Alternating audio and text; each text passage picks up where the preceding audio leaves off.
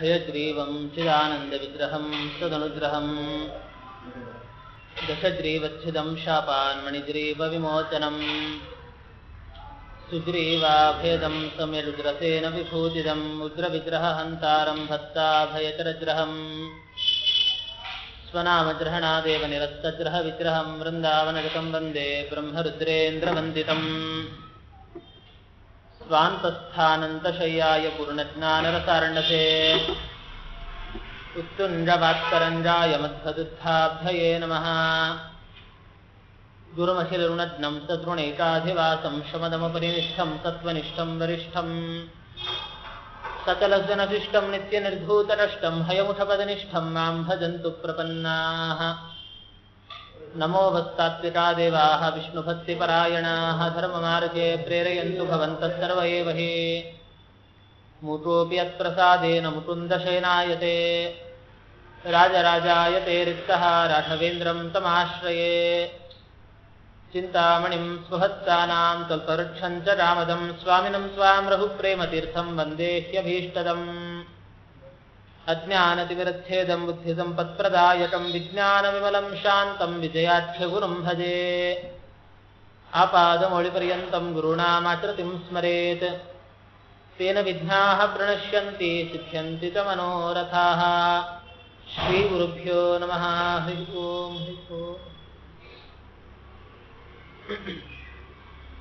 विष्णुतीर्थश्चल्पवृक्षः विष्णुतीर्थश्च कामधुट् चिन्तामणिर्विष्णुतीर्थः यतीन्द्रः सर्वकामदः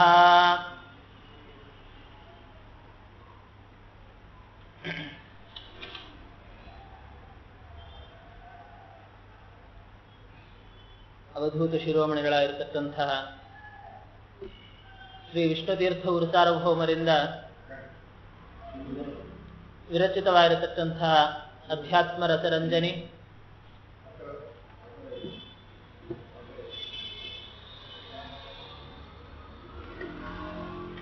ಈ ಗ್ರಂಥದ ವೈಶಿಷ್ಟ್ಯದ ಬಗ್ಗೆ ನಿನ್ನೆ ದಿವಸ ನಾವು ಸಂಕ್ಷಿಪ್ತವಾಗಿ ಅದನ್ನು ನೋಡಿದ್ದೇವೆ.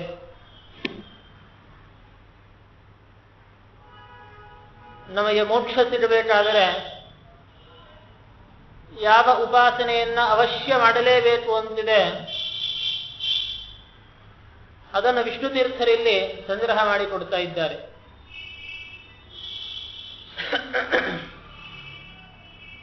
ಯಾವ ಉಪಾಸನೆಗಳನ್ನಾದರೆ ಅನೇಕ ಜನ ಜ್ಞಾನಿವರೆಣ್ಯರು ತಮ್ಮ ಜೀವನದಲ್ಲಿ ನಿತ್ಯ ಅನುಷ್ಠಾನಕ್ಕಿಟ್ಟು ಮಾಡಿಕೊಂಡು ಬಂದಿದ್ದಾರೆ.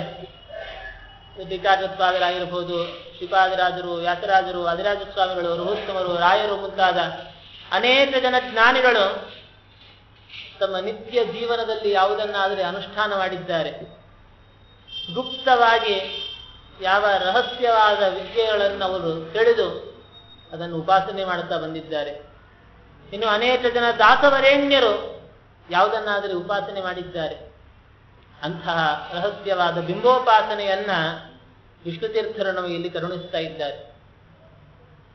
ಪ್ರಾರಂಭದಲ್ಲಿ ಮಂಡಳಾಚರಣೆಯನ್ನು ಮಾಡುತ್ತಾ, ಪಾಹಿ ಪಾಂಡವ ಪಾಲಕಾಮಿತ ಪಾಪಿನಂ ಭವತಾಪತೋ, ಏಹಿ ಮಾನಸ ಮಂದಿರಾಂಗಣ ದೇಶಮೀಶ ನಮೋಸ್ತುತೆ.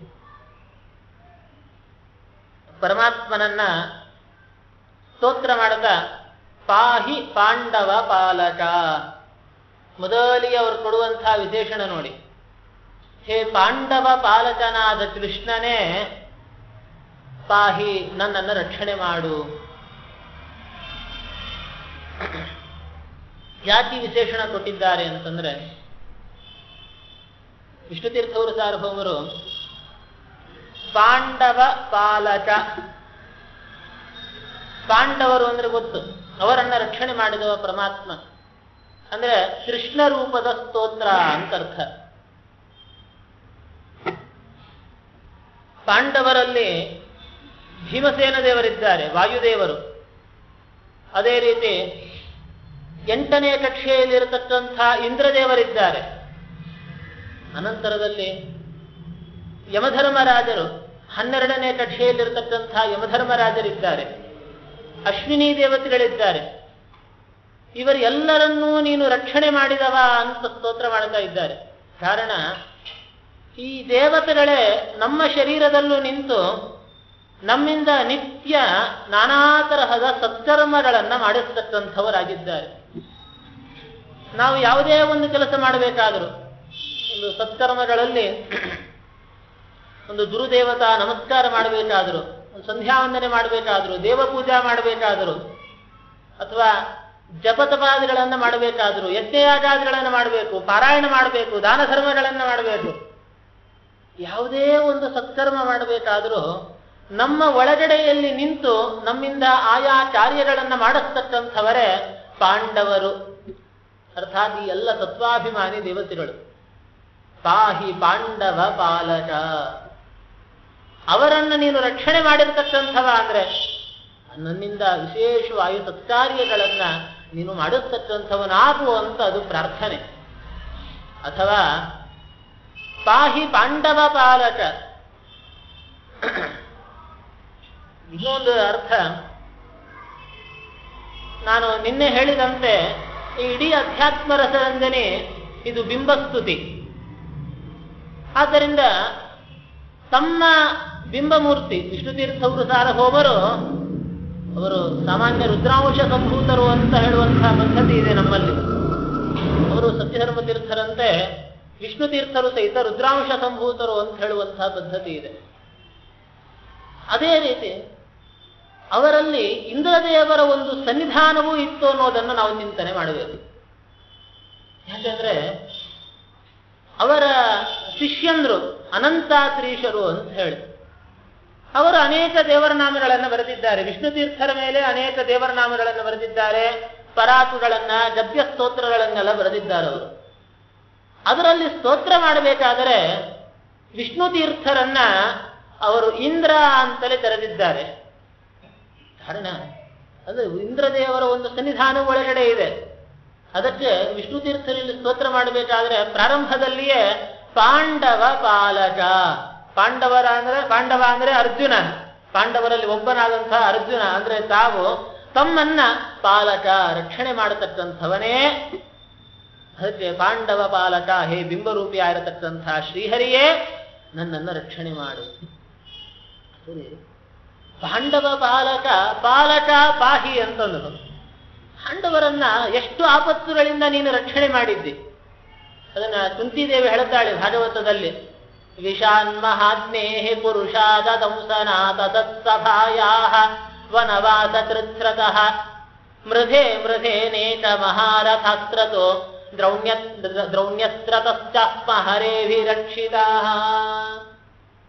ಶ್ರೀಕೃಷ್ಣ ಪರಮಾತ್ಮ ತಾನು ಎಲ್ಲ ಯುದ್ಧ ಎಲ್ಲ ಮುಗಿದ ಮೇಲೆ ತಾನು ದ್ವಾರಕಾಪಟ್ಟಣಕ್ಕೆ ಹೊರಡಬೇಕು ಅಂತಾದಾಗ ಕುಂತಿದೇವಿ ತಾನು ಬಂದು ಪ್ರಾರ್ಥನೆ ಮಾಡಿಕೊಳ್ತಾಳೆ ಹೇ ಕೃಷ್ಣ ಇವತ್ತು ನನ್ನ ಮಕ್ಕಳು ಉಳಿದಿದ್ದಾರೆ ಅಂತಂದ್ರೆ ಅದಕ್ಕೆ ನೀನೇ ಕಾರಣ. ಯಾಕಂದ್ರೆ ಅನೇಕ ಆಪತ್ತುಗಳಿಂದ ನೀನೇ ನನ್ನ ಮಕ್ಕಳನ್ನ ರಕ್ಷಣೆ ಮಾಡಿದ್ದಿ. ಪಾಂಡವರ ರಕ್ಷತೆ ಕೃಷ್ಣ.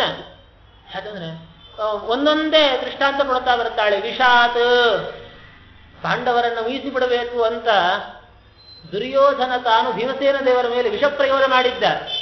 ಬುದ್ಧಂಚ ಜೀರ್ಣಂ ಪರಿಪಂಥಿ ದತ್ತಂ. ಸುಮಧ್ವಿತೆಯಲ್ಲಿ ನಾವು ನೋಡುತ್ತೇವೆ. ವಿಷಾತ್ ಮಹಾತ್ಮೇಹೇ ಕರಗಿನ ಮನೆಯಲ್ಲಿ ಸುಟ್ಟಿ ಬೇಕು ಅಂತ ಪ್ರಯತ್ನ ಪಟ್ಟರು ಅದು ಸಾಧ್ಯ ಆಗಿಲ್ಲ. ಯಾಕೆ? ಕೃಷ್ಣ ಅಲ್ಲಿ ರಕ್ಷಣೆ ಮಾಡಿದ. ಪುರುಷಾದ ದಂಶನಾಥ್ ಪುರುಷಾದರು ಅಂತಂದ್ರೆ ರಾಕ್ಷಸರು. ಅದರಲ್ಲಿ ಪ್ರಧಾನವಾಗಿ ಬಟಾಸುರ, ಬಟ ಕಿರ್ಮೀರ ಮುಂತಾಗಿರತಕ್ಕಂಥವರು. ಅವರ ಬಾಯಿಯ ಸುತ್ತಾಡಬೇಕಾಗಿತ್ತು ಪಾಂಡವರು. ಆದರೆ ಅಲ್ಲೂ ಕೃಷ್ಣ ರಕ್ಷಣೆ ಮಾಡಿದ.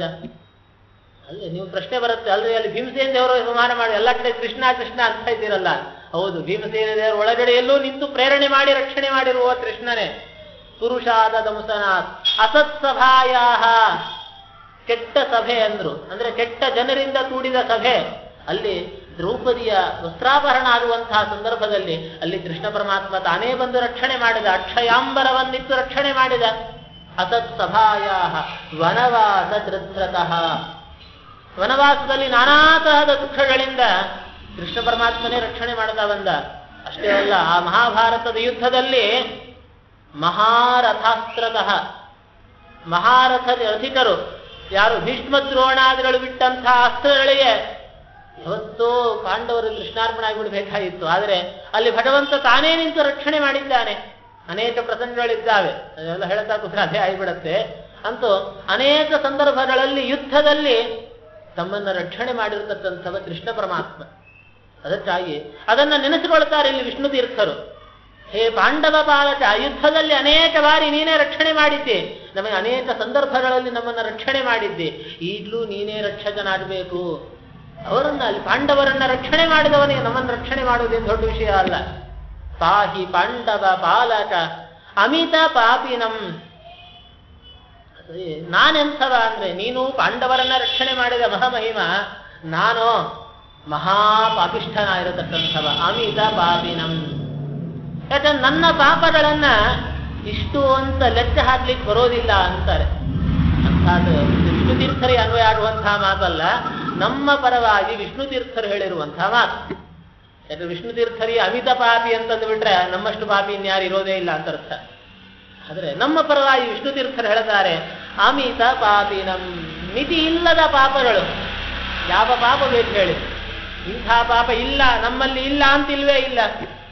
ಅಮಿತ ಪಾಪಿನಂ. ಒಂದೊಂದು ಯಾವ ಯಾವತ್ತು ನಾನಾ ತರಹದ ಸಾವಿರಾರು ತಪ್ಪುಗಳನ್ನು ಮಾಡ್ತಾನೆ ಇರ್ತೇನೆ ಸ್ವಾಮಿ. ನಿನ್ನ ವಿಸ್ಮರಣೆಯಿಂದ, ನಿನ್ನ ಒಂದು ಇಚ್ಛಾಶಕ್ತಿಗೆ ನಾನು ವಶನಾಗಿ, ನಾನಾ ತರಹದ ನನ್ನ ಕರ್ಮಾನುಗುಣವಾಗಿ ನಾನಾ ತರಹದ ದುಷ್ಕರ್ಮಗಳನ್ನ ಮಾಡ್ತಾ ಇರ್ತೇನೆ. ಹೇ ಸ್ವಾಮಿ, ಅಮಿತ ಪಾಪಿನಂ ಅಂತ ನನ್ನನ್ನ ಈ ಪಾಪಗಳಿಂದ ರಕ್ಷಣೆ ಮಾಡು.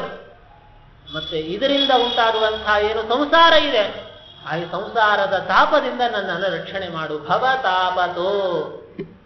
ಪ್ರಧಾನವಾಗಿ ಬೇಕಾಗಿರೋದೇನು ನಾವು ಎಷ್ಟೇ ಶಾಸ್ತ್ರಾಭ್ಯಾಸ ಮಾಡಿದ್ರು, ಏನೇ ಸತ್ಕರ್ಮಗಳನ್ನು ಮಾಡಿದ್ರು, ಎಲ್ಲದರ ಪ್ರಧಾನ ಗುರಿಯಲ್ಲಿ ನನಗೆ ಮೋಕ್ಷ ಪ್ರಾಪ್ತಿ ಆಗಬೇಕು. ಅದು ಪ್ರಧಾನವಾಗಿರತಕ್ಕಂಥ ಗುರಿ. ಉಳಿದಕ್ಕೆಲ್ಲ ಬೇರೆ ಇದ್ದೇ ಇರ್ತಾವೆ. ನನಗೆ ಲೋಟ, ಲೋಟದಲ್ಲಿ ಅದು ಸಿದ್ಧಿ ಆಡಬೇಕು ಮಕ್ಕಳಾಗಬೇಕು ಉದ್ಯೋಗ ಇರಬೇಕು ಅದಾಡ್ಬೇಕು ಇದಾಡ್ಬೇಕು ಎಲ್ಲ ಅದೆಲ್ಲ ಬೇರೆ ಸೆಕೆಂಡ್ರಿ ಪ್ರಧಾನವಾಗಿರತಕ್ಕಂಥದ್ದು ತಾ ತೊಡುವ ಸೌಖ್ಯವನ್ನು ಭಟುತರಿಗೆ ಅಂದ್ರು ದಾಸರು. ಪ್ರಧಾನ ಏನು? ಪರಲೋಕದ ಸಾಧನೆ. ಒಂದ ಸ್ವರ್ಗ ಆ ಸ್ವರ್ಗವೂ ನಶ್ವರವೇನೆ. ಅದಕ್ಕಾಗಿ ಶಾಶ್ವತವಾದ್ದು ಅಂದ್ರೆ ಅಪವರ್ಜ ಅರ್ಥಾತ್ ಮೋಕ್ಷ. ಅಂಥ ಮೋಕ್ಷವನ್ನು ನನಗೆ ಕರುಣಿಸಿ ರಕ್ಷಣೆ ಮಾಡು. ಪಾಲನೆ ಅಂದ್ರೆ ಅದೇನೇನೆ? ಭವತಾಪತಃ, ಈ ಸಂಸಾರ ಸಮುದ್ರದಿಂದ ದಾಟಿಸಿ ನನಗೆ ಮೋಕ್ಷಪ್ರದನಾಗಿ ರಕ್ಷಣೆ ಮಾಡು ಸ್ವಾಮಿ. ಅಷ್ಟೇ ಅಲ್ಲ. ಭಗವಂತ ತಾನು ನಮಗೆ ಮೋಕ್ಷ ಕೊಡಬೇಕಾದರೆ ದೇವರು ಸುಮ್ ಸುಮ್ಮನೆ ಕೊಡೋದಿಲ್ಲ. ಅವನ ಪೂಜಾ ಮಾಡಿದರೆ ಹೊರತು ದೇವರು ತಾನು ನಮಗೆ ಕೊಡೋದಿಲ್ಲ. ಅದನ್ನೇ ಪ್ರಹ್ಲಾದರಾಜರು ಹೇಳುತ್ತಾರೆ. ಯದ್ಯಜ್ಜನೋ ಭಜವತೆ ವಿದಧೀತಮಾನಂ, ತಚ್ಚಾತ್ಮನೆ ಪ್ರತಿಮುಖಸ್ಯ ಯಥಾ ಮುಖಶ್ರೀಹಿ. ಭಗವಂತನಿಗೆ ನಾವು ಬಿಂಬ ಅಂತ ಕರೀತೇವೆ. ನಮಗೂ ಅವನಿಗೂ ಇರುವಂತಹ ಸಂಬಂಧ ಬಿಂಬ ಪ್ರತಿಬಿಂಬ ಭಾವ. ಬಿಂಬ ಪ್ರತಿಬಿಂಬ ಭಾವ ಹೇಗೆ ನಾವು ಲೋಟದಲ್ಲಿ ಒಂದು ಕನ್ನಡಿಯಲ್ಲಿ ನಮ್ಮ ಮುಖವನ್ನ ನಾವು ನೋಡಿಕೊಂಡಾಗ ನಾವು ನಮ್ಮ ಮುಖಕ್ಕೆ ಎಷ್ಟೆಷ್ಟು ಅಲಂಕಾರವನ್ನ ಮಾಡಿಕೊಳ್ಳುತ್ತೇವೆ, ನಮ್ಮ ಪ್ರತಿಬಿಂಬವು ಅಷ್ಟೇ ಚೆನ್ನಾಗಿ ಕಾಣಿಸ್ತಾ ಬರುತ್ತೆ. ನೀವಿಲ್ಲಿ ಪೌಡರ್ ಹಚ್ಚಿದ್ರ ಅಲ್ಲೂ ಬೆಳ್ಳಗೆ ಕಾಣಿಸ್ತು. ಇಲ್ಲಿ ಒಳ್ಳೆ ತಿಲಕ ಇಟ್ರಿ ಅಲ್ಲೂ ಕಾಣಿಸ್ತು. ಬೆಂಡೋಲೆ ಹಾಕೊಂಡ್ರಿ ಚೆನ್ನಾಗಿ ಕೂದಲು ಹಾಕೊಂಡು ಎಷ್ಟೆಷ್ಟು ನೀವು ಅಲಂಕಾರ ಮಾಡಿಕೊಳ್ತೀರಿ ನಿಮ್ಮ ಪ್ರತಿಬಿಂಬವು ಅಷ್ಟೇ ಅಲಂಕಾರ ಮಾಡಿಕೊಳ್ತಾ ಬರುತ್ತೆ. ಅದೇ ರೀತಿಯಲ್ಲಿ ಇದೇ ದೃಷ್ಟಾಂತವನ್ನ, ಈ ಕನ್ನಡಿಯ ದೃಷ್ಟಾಂತವನ್ನ ಭಗವಂತನ ಪರವಾಗಿ ಸಮನ್ವಯ ಮಾಡಿದರೆ ನಾವು ಎಷ್ಟೆಷ್ಟು ದೇವರಿಗೆ ಭಕ್ತಿಯಿಂದ ಪೂಜಾ ಮಾಡ್ತಾ ಬರ್ತೇವೆ, ಅಷ್ಟಷ್ಟು ಪರಮಾತ್ಮ ನಮ್ಮನ್ನ, ಯಾಕೆ ಅವನ ಪ್ರತಿಬಿಂಬ ನಾವು? ಬಿಂಬ ಎಷ್ಟು ಚೆನ್ನಾಗಿದ್ರೆ ಪ್ರತಿಬಿಂಬ ಅಷ್ಟೇ ಚೆನ್ನಾಗಿರ್ಬೇಕು ತಾನೆ. ನಾವು ಎಷ್ಟೆಷ್ಟು ಭಕ್ತಿಯಿಂದ ಹರಿಯ ಪೂಜಾ ಮಾಡ್ತಾ ಬರ್ತೇವೆ, ಅವನ ಪ್ರತಿಬಿಂಬರಾದಂಥ ನಮ್ಮನ್ನ ಪರಮಾತ್ಮ ತಾನು ಅಷ್ಟೇ ಉನ್ನತ ಸ್ಥಾನದಲ್ಲಿ ಇಡ್ತಾ ಬರ್ತಾನೆ.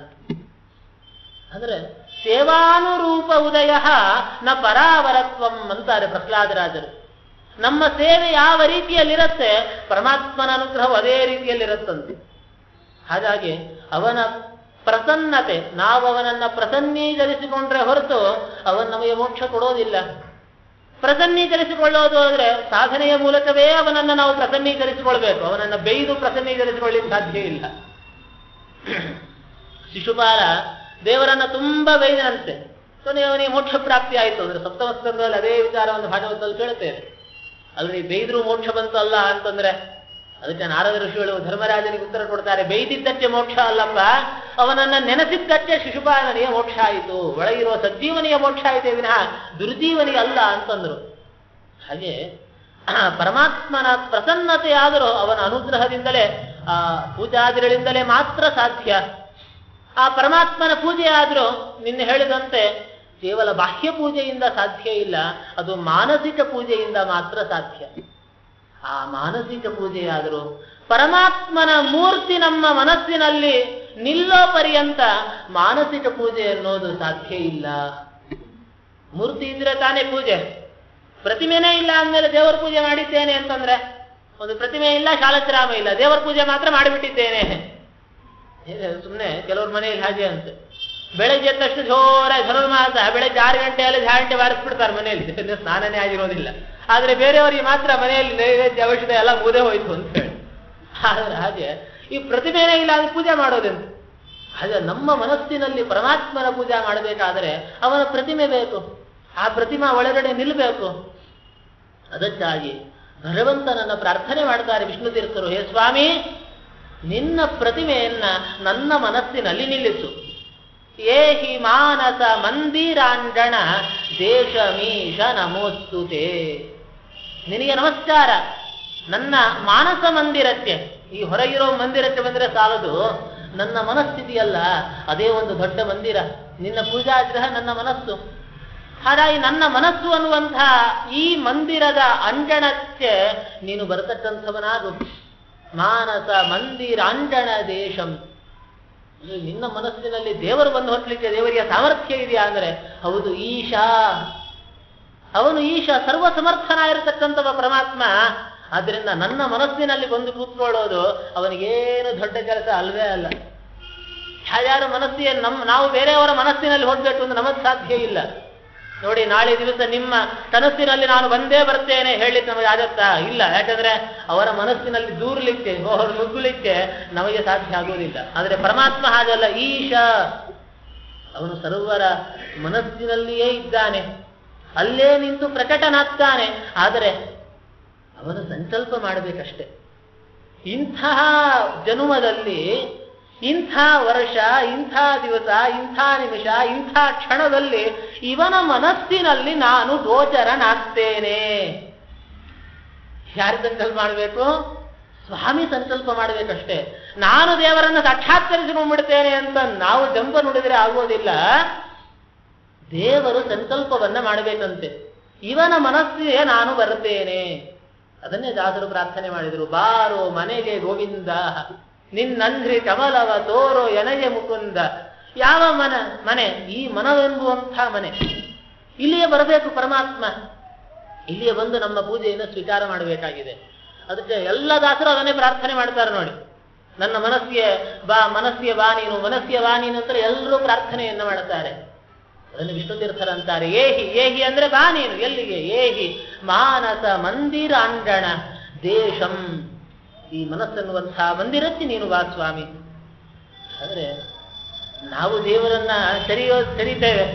ಹೇ ಸ್ವಾಮಿ, ನೀನು ನನ್ನ ಮನಸ್ಸಿಗೆ ಬರಬೇಕು. ದೇವರು ನಮ್ಮನ್ನ ಕೇಳ್ತಾನೆ. ಸರಿ ನಿನ್ನ ಮನಸ್ಸು ಅನ್ನುವಂತಹ ಮನೆಗೆ ಬಾ ಅಂತ ಕರೀತಾ ಇದ್ದಿ. ಆದರೆ ನಾನು ಬರ್ತೇನೆ. ಆದರೆ ನಿನ್ನ ಮನಸ್ಸು ಸ್ವಚ್ಛವಾಗಿದೆಯಾ ಇಲ್ವಾ?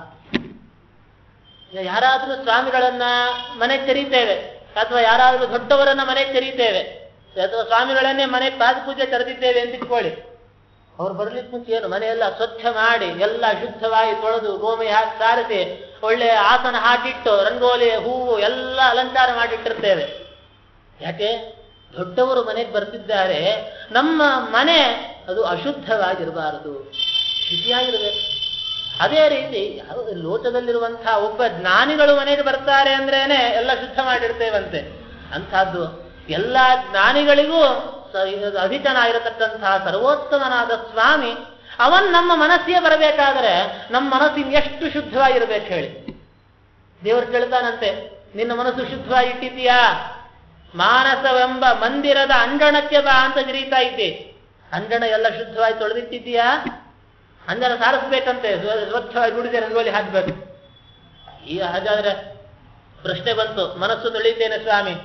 ಈ ಹೊರಗಿನ ಅಂಗಳ ತೊಳಿಬೇಕಾದ್ರೆ ಏನೋ ಯಾವುದು ನಾನಾ ಸಾಧನ ಇದೆಲ್ಲ ಸೋಪು ಸರ್ಫು ಲೈಜಾಲು ಅದು, ಇದು ಹಾಕಿ, ಹೊಡೆದು ಹಾಕ್ಬಿಡ್ತೇವೆ, ಆಯ್ತು. ಮನಸ್ಸನ್ನು ತೊಳಿಬೇಕು ಅಂದ್ರೆ ಅದು ಯಾವ ಸೋಪಿರು ಬಡ್ಡುವಂತಹದ್ದಲ್ಲ ಆ ಜಿಡ್ಡು. ಯಾಕಂದ್ರೆ ಒಳಗಡೆ ಜಿಡ್ಡು ಭಾರಿ ಕೂತ್ಬಿಟ್ಟಿರತ್ತೆ ನೋಡಿ. ಜಿಡ್ಡು ಅಂದ್ರೆ ಏನು? ಅಂಟು. ಅಂಟು ಅಂದ್ರೆ ಏನು? ಸ್ನೇಹ. ಸ್ನೇಹ ಅಂದ್ರೆ ಬಾಂಧವ್ಯ. ಎಲ್ಲರ ಮೇಲೆ ಏನು ಪುತ್ರ, ಮಿತ್ರ, ಕಳತ್ರ, ಎಲ್ಲ ನಮ್ಮ ಮನೆಯ ಮೇಲೆ ಮೋಹ. ನಾವು ಯಾವ ಮನೆಯಲ್ಲಿ ವಾಸ ಮಾಡಿಕೊಂಡಿರ್ತೇವೆ ನಮ್ಮದು ಯಾವುದು ಮನೆ ಇರುತ್ತೆ? ಆ ಮನೆಯ ಮೇಲೆ ಮೋಹ. ಮಕ್ಕಳ ಮೇಲೆ ಮೋಹ, ಪತ್ನಿಯ ಮೇಲೆ ಮೋಹ, ಪತಿಯ ಮೇಲೆ ಮೋಹ, ನಮ್ಮವರ ಮೇಲೆ ಮೋಹ.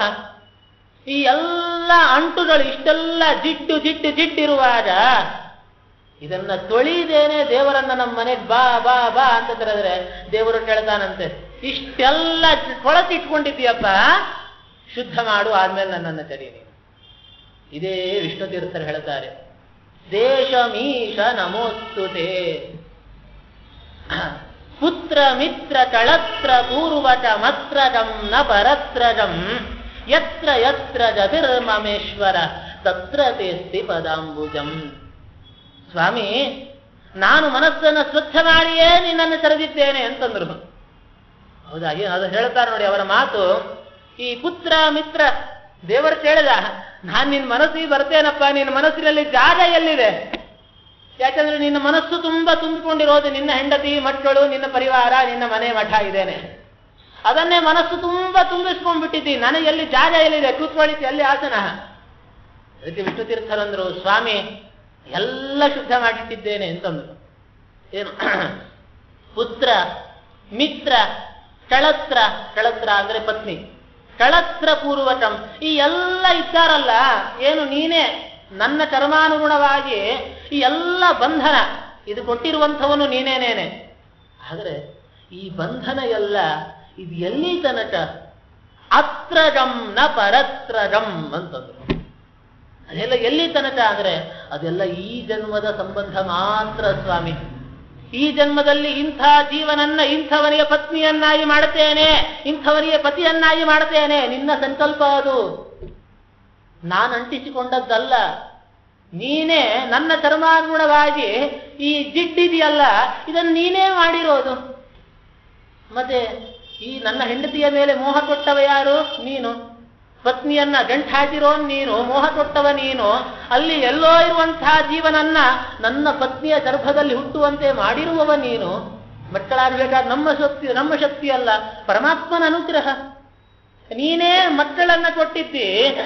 ಆ ಮಕ್ಕಳ ಮೇಲೆ ಮೋಹವನ್ನೂ ನೀನೇ ಕೊಟ್ಟಿದ್ದಿ. ಮನೆ ಮಠ ನೀನೇ ಕಲ್ಪಿಸಿ ಕೊಟ್ಟಿದ್ದಿ ಅದರ ಮೇಲೆ ಮೋಹವನ್ನು ಕೊಟ್ಟಿದ್ದಿ. ಮತ್ತೆ ಈಗ ಹೇಳು. ಜಿಡ್ಡು ತೊಳಿ ಬರ್ತೇನೆ ಅಂತ ಹೇಳ್ತಾ ಇದೆಯಲ್ಲ ಜಿಡ್ಡು ಮಾಡಿರೋನೇ ನೀನು, ಮತ್ತೆ ನಾನು ಯಾಕೆ ತೊಳಿ? ತೊಳಿಯೋ ಸಾಮರ್ಥ್ಯ ನನಗಿದೆಯಾ? ಇದೇ ಪ್ರಶ್ನೆ ಮಾಡಿದ್ರು ವಿಷ್ಣು ತೀರ್ಥರು ಇದೆಲ್ಲ ನೀನೇ ತೊಳಿಬೇಕು. ಯಾಕಂದ್ರೆ ಅದು ನನ್ನಿಂದ ಸಾಧ್ಯ ಇಲ್ಲ.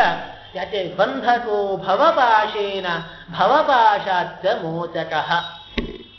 ಯಾರು ನಮಗೆ ಬಂಧನ ಹಾಕಿರ್ತಾರೆ, ಆ ಬಂಧನ ಬಿಡಿಸ್ಬೇಕಾದವರು ಅವರೇನೆ. ನಾವು ಯಾರೋ ಬಂಧನ ಹಾಕಿದಾಗ ಮತ್ತೆ ಇನ್ನಾರು ಬಿಡ್ಲಿಕ್ಕೆ ಸಾಧ್ಯ ಇಲ್ಲ.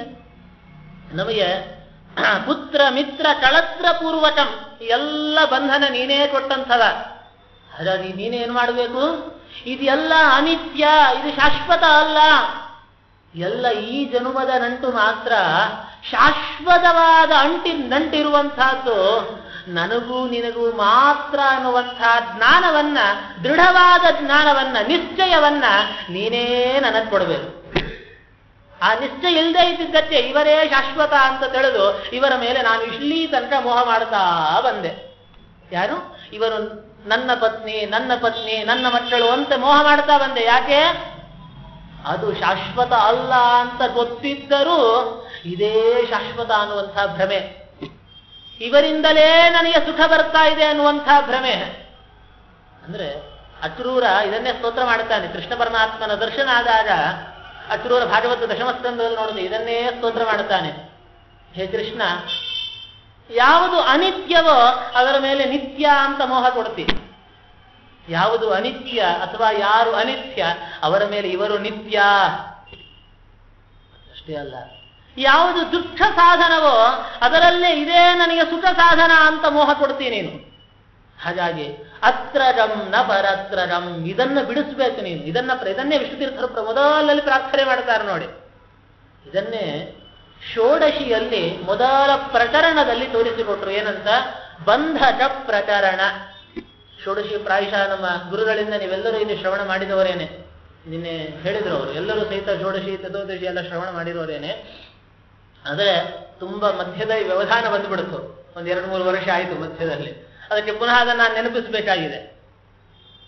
ಷೋಡಶಿಯಲ್ಲಿ ಮೊದಲನೇ ಪ್ರಕರಣ ನೋಡಿ ಬಂಧಕ ಪ್ರಕರಣ ಅಂತಂದ್ರು ವಿಷ್ಣು ತೀರ್ಥರು.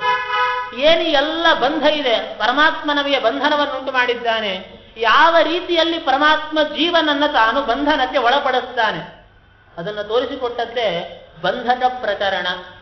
ಪರಮಾತ್ಮ ತಾನು ಈ ಜೀವನನ್ನ ಬಂಧನೆ ಮಾಡಬೇಕಾದ್ರೆ ಜೀವನಿಗೆ ನಾನಾ ತರಹದ ಅಭಿಮಾನಗಳನ್ನ ಕೊಡ್ತಾನಂತೆ. ಯಾಕಂದ್ರೆ ನಮ್ಮ ಬಂಧನಕ್ಕೆ ಪ್ರಧಾನವಾದಂತಹ ಕಾರಣ ನಾವು ಮಾಡುವಂತಹ ಅಭಿಮಾನ. ಆ ಅಭಿಮಾನ ನಾನಾ ತರಹದ ವಸ್ತುಗಳ ಮೇಲೆ ಮಾಡುತ್ತೇವೆ. ಒಂದು, ನಮ್ಮ ಶರೀರದ ಮೇಲೆ ಅಭಿಮಾನ ಮಾಡುತ್ತೇವೆ. ಇಂದ್ರಿಯಗಳ ಮೇಲೆ ಅಭಿಮಾನ ಮಾಡುತ್ತೇವೆ. ಇದು ನನ್ನ ಕಣ್ಣು, ನನ್ನ ಕೈ, ನನ್ನ ಕಾಲು, ನನ್ನ ಕಿವಿ, ನನ್ನ ಮೂಗು, ನನ್ನ ಬಾಯಿ. ಎಲ್ಲ ಕಡೆ ನನ್ನ ನನ್ನ ನನ್ನ ಬಂತು ನೋಡಿ ಅಭಿಮಾನ. ದೇಹದ ಮೇಲೆ ನನ್ನ ದೇಹ, ನನ್ನ ಇಂದ್ರಿಯ. ಅಷ್ಟೇ ಅಲ್ಲ, ನನ್ನ ಮನಸ್ಸು. ಇನ್ನು ನನ್ನ ವಿಷಯ. ಯಾವ ವಿಷಯ ಸುಖಗಳನ್ನು ಅನುಭವಿಸ್ತಾ ಇದ್ದೇವೆ, ಯಾವುದನ್ನು ನೋಡ್ತಿದ್ದೇವೆ, ಅದು ನನ್ನದು. ಹೀಗೆ ಇದೆಲ್ಲದರ ಮೇಲೆ ಪರಮಾತ್ಮ ಸ್ವಾಮಿತ್ವಾಭಿಮಾನವನ್ನು ಕೊಡ್ತಾನೆ ಈ ದೇಹದ ಒಡೆಯ ನಾನೇ, ಇಂದ್ರಿಯಗಳ ಒಡೆಯ ನಾನೇ. ಮತ್ತೆ ನನ್ನ ಮನಸ್ಸಿಗೆ ಒಡೆಯ ನಾನೇ, ನನ್ನ ವಿಷಯಗಳಿಗೆ ನಾನೇ ಒಡೆಯ. ಈ ಸ್ವಾಮಿತ್ವಾಭಿಮಾನ ಏನಿದೆಯಲ್ಲ ಈ ಸ್ವಾಮಿತ್ವಾಭಿಮಾನದಿಂದ ಇಂದ್ರಿಯಗಳ ಮೇಲೆ, ಮನಸ್ಸಿನ ಮೇಲೆ ವಿಶೇಷವಾದಂತಹ ಅಭಿಮಾನ ಬಂದ್ಬಿಡತ್ತೆ. ಯಾಕೆ, ನನ್ನದು ಅಂತಂದಾಗ ಅಭಿಮಾನ ಶುರುವಾಯಿತು ನೋಡಿ. ಬೇರೆಯವ್ರದ್ದು ಅಂತಂದ್ರೆ ಅಭಿಮಾನ ಬರೋದಿಲ್ಲ ನಮಗೆ. ಬೇರೆಯವ್ರು ನಮಗೆ ಸಾವಿರ ರೂಪಾಯಿ ಕೊಟ್ಟು ನೋಡ್ಕೊಂಡಿರಿ, ನಾಳೆ ಬಂದು ತೊಗೊಂಡೋಗ್ತೀನಿ ಅಂತ ಅಭಿಮಾನ ಮಾಡ್ತೀವೇನು? ಅದೇ ಯಾರೋ ಸಾವಿರ ರೂಪಾಯಿ ಬಂದು ನಮಗೇ ದಾನ ಕೊಟ್ಟು ಹೋದ್ರೆ, ಹೇ, ನನ್ನ ಸಾವಿರ ರೂಪಾಯಿ ಇದು. ಯಾಕೆ, ನಂದು ಅಂದಾಗ ಅದು ಶುರುವಾಯಿತು. ಯಾವಾಗ ನನ್ನ ದೇಹ, ನನ್ನ ಇಂದ್ರಿಯ, ನನ್ನ ಮನಸ್ಸು ಅಂತ ಹೇಳ್ತಾ ಬಂದ್ವಿ, ಅದರ ಮೇಲೆ ಅಭಿಮಾನ ಶುರುವಾಯಿತು ನಮಗೆ. ಆ ಅಭಿಮಾನದಿಂದ ಏನಾಯಿತು? ಈ ದೇಹ, ಈ ಇಂದ್ರಿಯ, ಈ ಮನಸ್ಸು ಇದೇ ನನಗೆ ಸುಖ ಕೊಡ್ತಾ ಇದೆ ಅಂತ ಭ್ರಾಂತಿ ಬರಲಿಕ್ಕೆ ಶುರುವಾಯಿತು. ಇದನ್ನೇ ಬಂಧಕ ಪ್ರಕರಣದಲ್ಲಿ ಬಹಳ ವಿಸ್ತಾರವಾಗಿ ಇಷ್ಟು ತೀರ್ಥ ಹೇಳ್ತಾ ಹೋಗ್ತಾರೆ. ಅದೆಲ್ಲ ಹೇಳ್ತಾ ಹೋದ್ರೆ ಸಮಯ ಸಾಲುವುದಿಲ್ಲ ನಮಗೆ. ಅಂತೂ ಈ ಪ್ರಕಾರಕವಾಗಿ ಯಾವುದು ನನ್ನದು ಅಂತ ಬಂತು ಅದರ ಮೇಲೆ ನಾನಾ ತರಹದ ಅಭಿಮಾನ ಅನ್ನತಕ್ಕಂಥದ್ದು ಶುರುವಾಗತ್ತೆ. ಅದರಿಂದಲೇನೆ ನಮಗೆ ನಾನಾ ತರಹದ ಸ್ವಾಮಿತ್ವಾಭಿಮಾನ. ಇದೇ ಆ, ಸ್ವಾಮಿತ್ವಾಭಿಮಾನದಿಂದ ಸ್ವಾಮಿತ್ವಾಭಿಮಾನದಿಂದ ಏನಾಗತ್ತೆ? ಇದು ನನ್ನ ದೇಹ ಅಂತ ಇದರ ಮೇಲೆ ಅಭಿಮಾನ ಬಂದಾಗ ಈ ದೇಹದ ಧರ್ಮಗಳನ್ನೆಲ್ಲ ನಾವು ನಮ್ಮಲ್ಲಿ ಆರೋಪ ಮಾಡಿಕೊಳ್ಳುತ್ತೇವೆ. ದೇಹಕ್ಕೆ ಹಸಿವಾಯಿತು ನನಗೆ ಹಸಿವಾಗ್ತಾ ಇದೆ. ದೇಹಕ್ಕೆ ಏನೋ ಗಾಯ ಆಯಿತು. ಅಯ್ಯೋ, ನನಗೆ ನನ್ನ ಕೈ ಹೋಯಿತು. ನನಗೆ ನೋವಾಗ್ತಾ ಇದೆ ಅಂತ ಹೇಳ್ಕೊಳ್ತೇವೆ. ಆದರೆ ಇದು ಬೇರೆ ಅಂತ ಗೊತ್ತಾಗ್ಬಿಟ್ರೆ ನೋವಾಗೋದಿಲ್ಲ ನೋಡಿ. ನಾವು ಜಡಭರತರ ಕಥೆಯಲ್ಲಿ ಕೇಳುತ್ತೇವೆ. ಪಂಚಮಸ್ಕಂದ ಭಾಗವತದಲ್ಲಿ ಭರತರಾಜರು ಎಷ್ಟೋ ತಿಂಗಳುಗಳ ಗಟ್ಟಲೆ ಉಪ ಅವರು ಊಟ ಮಾಡದೆ ಉಪವಾಸ ಇದ್ದು ಬಿಡ್ತಾ ಇದ್ರು. ಆದರೂ ಕಷ್ಟಪುಷ್ಟವಾಗಿ ಸುಖವಾಗಿ ಇರ್ತಾ ಇದ್ರಂತೆ. ಯಾಕೆ?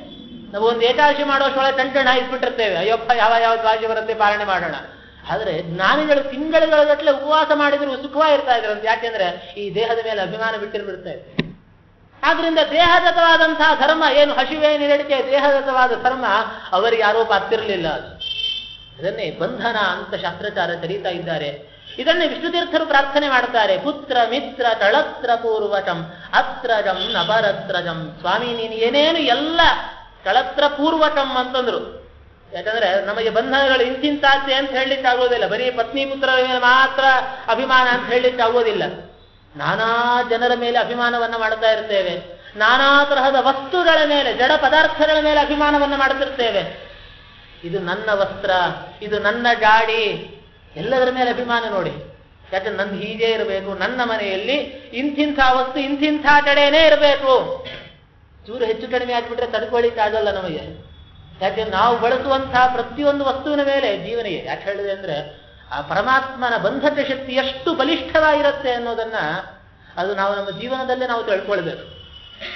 ನಾವು ಪರಮಾತ್ಮ ತನ್ನ ಸಂಕಲ್ಪದಿಂದ ಜೀವನನ್ನ ಆ ರೀತಿ ಬಂಧನಗೊಳಿಸ್ಬಿಟ್ಟಿರ್ತಾನಂತೆ. ನಾನು ಉಡುವಂತಹ ವಸ್ತ್ರ ಇಂಥದ್ದೇ ಆಗಿರಬೇಕು. ಯಾಕೆ ಇಂಥ ಸೀರೆ ಚೆನ್ನಾಗಿಲ್ಲ ಈ ಸೀರೆನೇ ಬೇಕು ಅಂತಾರೆ.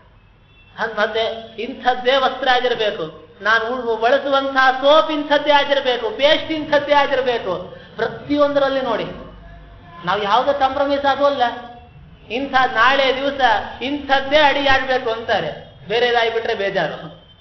ಅಯ್ಯೋ ಇಂಥದ್ದು ಅನ್ಕೊಂಡಿದ್ದೆ, ಇದು ಆಗೋಯ್ತಿತ್ತು. ಅಂದ್ರೆ ಉಡುವಂತಹದ್ರಲ್ಲಿ ನೋಡೋದರಲ್ಲಿ, ತಿನ್ನೋದರಲ್ಲಿ, ಮೂಸೋದರಲ್ಲಿ ಪ್ರತಿಯೊಂದರಲ್ಲೂ ನಮ್ಮದೇ ನಾವು ಚಾಯ್ಸ್ ಮಾಡ್ಕೊಂಡ್ಬಿಟ್ಟಿರ್ತೇವೆ. ಏ, ನಾನು ಈ ರೀತಿ ಮಾಡೋದು, ನಾನು ಹಿಂಗೆ ಮಾಡೋದು, ನಮ್ಮ ಮನೆಯಲ್ಲಿ ಹುಳಿಯ ಏನು ಹೋಳನ್ನ ಇಷ್ಟೇ ಸೈಜಲ್ಲೇ ನಾನು ಹೆಚ್ತೇನೆ ಅಂತಾರೆ.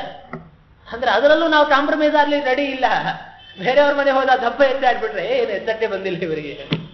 ಅಂದ್ರೆ ಇದೆಲ್ಲ ಸಣ್ಣ ಸಣ್ಣ ಯಾವುದೇ ಕೆಲಸದ್ದಾರದ ವಿಷಯಗಳು ಇದೆಲ್ಲ ಸಿಲ್ಲಿ ರೀಸನ್ಸ್ ಅಂತಾರಲ್ಲ. ಹಾಗೆ ಅದರಲ್ಲಿಯೂ ಸಹಿತ ನಮಗೆ ಮೋಹ. ನಮ್ಮ ಮನೆಯಲ್ಲಿ ಇಂಥ ಪಲ್ಯವನ್ನು ಈ ರೀತಿಯಲ್ಲೇ ಮಾಡುತ್ತೇನೆ ಇಂಥ ಸಾರು ಈ ರೀತಿಯಲ್ಲೇ ಇರಬೇಕು ಭಕ್ಷ್ಯ ಈ ರೀತಿ ಇರಬೇಕು.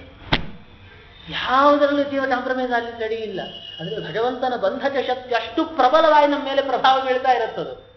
ಅದನ್ನು ವಿಷ್ಣು ತೀರ್ಥರಂತಾರೆ ಪುತ್ರ, ಮಿತ್ರ ಕಳತ್ರ ಪೂರ್ವಕಂ ಅಂದ್ರು. ಯಾಕಂದ್ರೆ ಎಲ್ಲ ಹೇಳ್ತಾ ಹೋದ್ರೆ ಅದೇ ದೊಡ್ಡ ಲಿಸ್ಟ್ ಆಗಿಬಿಡುತ್ತೆ. ಆದ್ದರಿಂದ ಏನು ಮುಂತಾದಂತಹ ಏನೇನು ವಿಷಯಗಳಿದ್ದಾವೆ, ಇದು ಯಾವುದೇ ಇರಲಿ.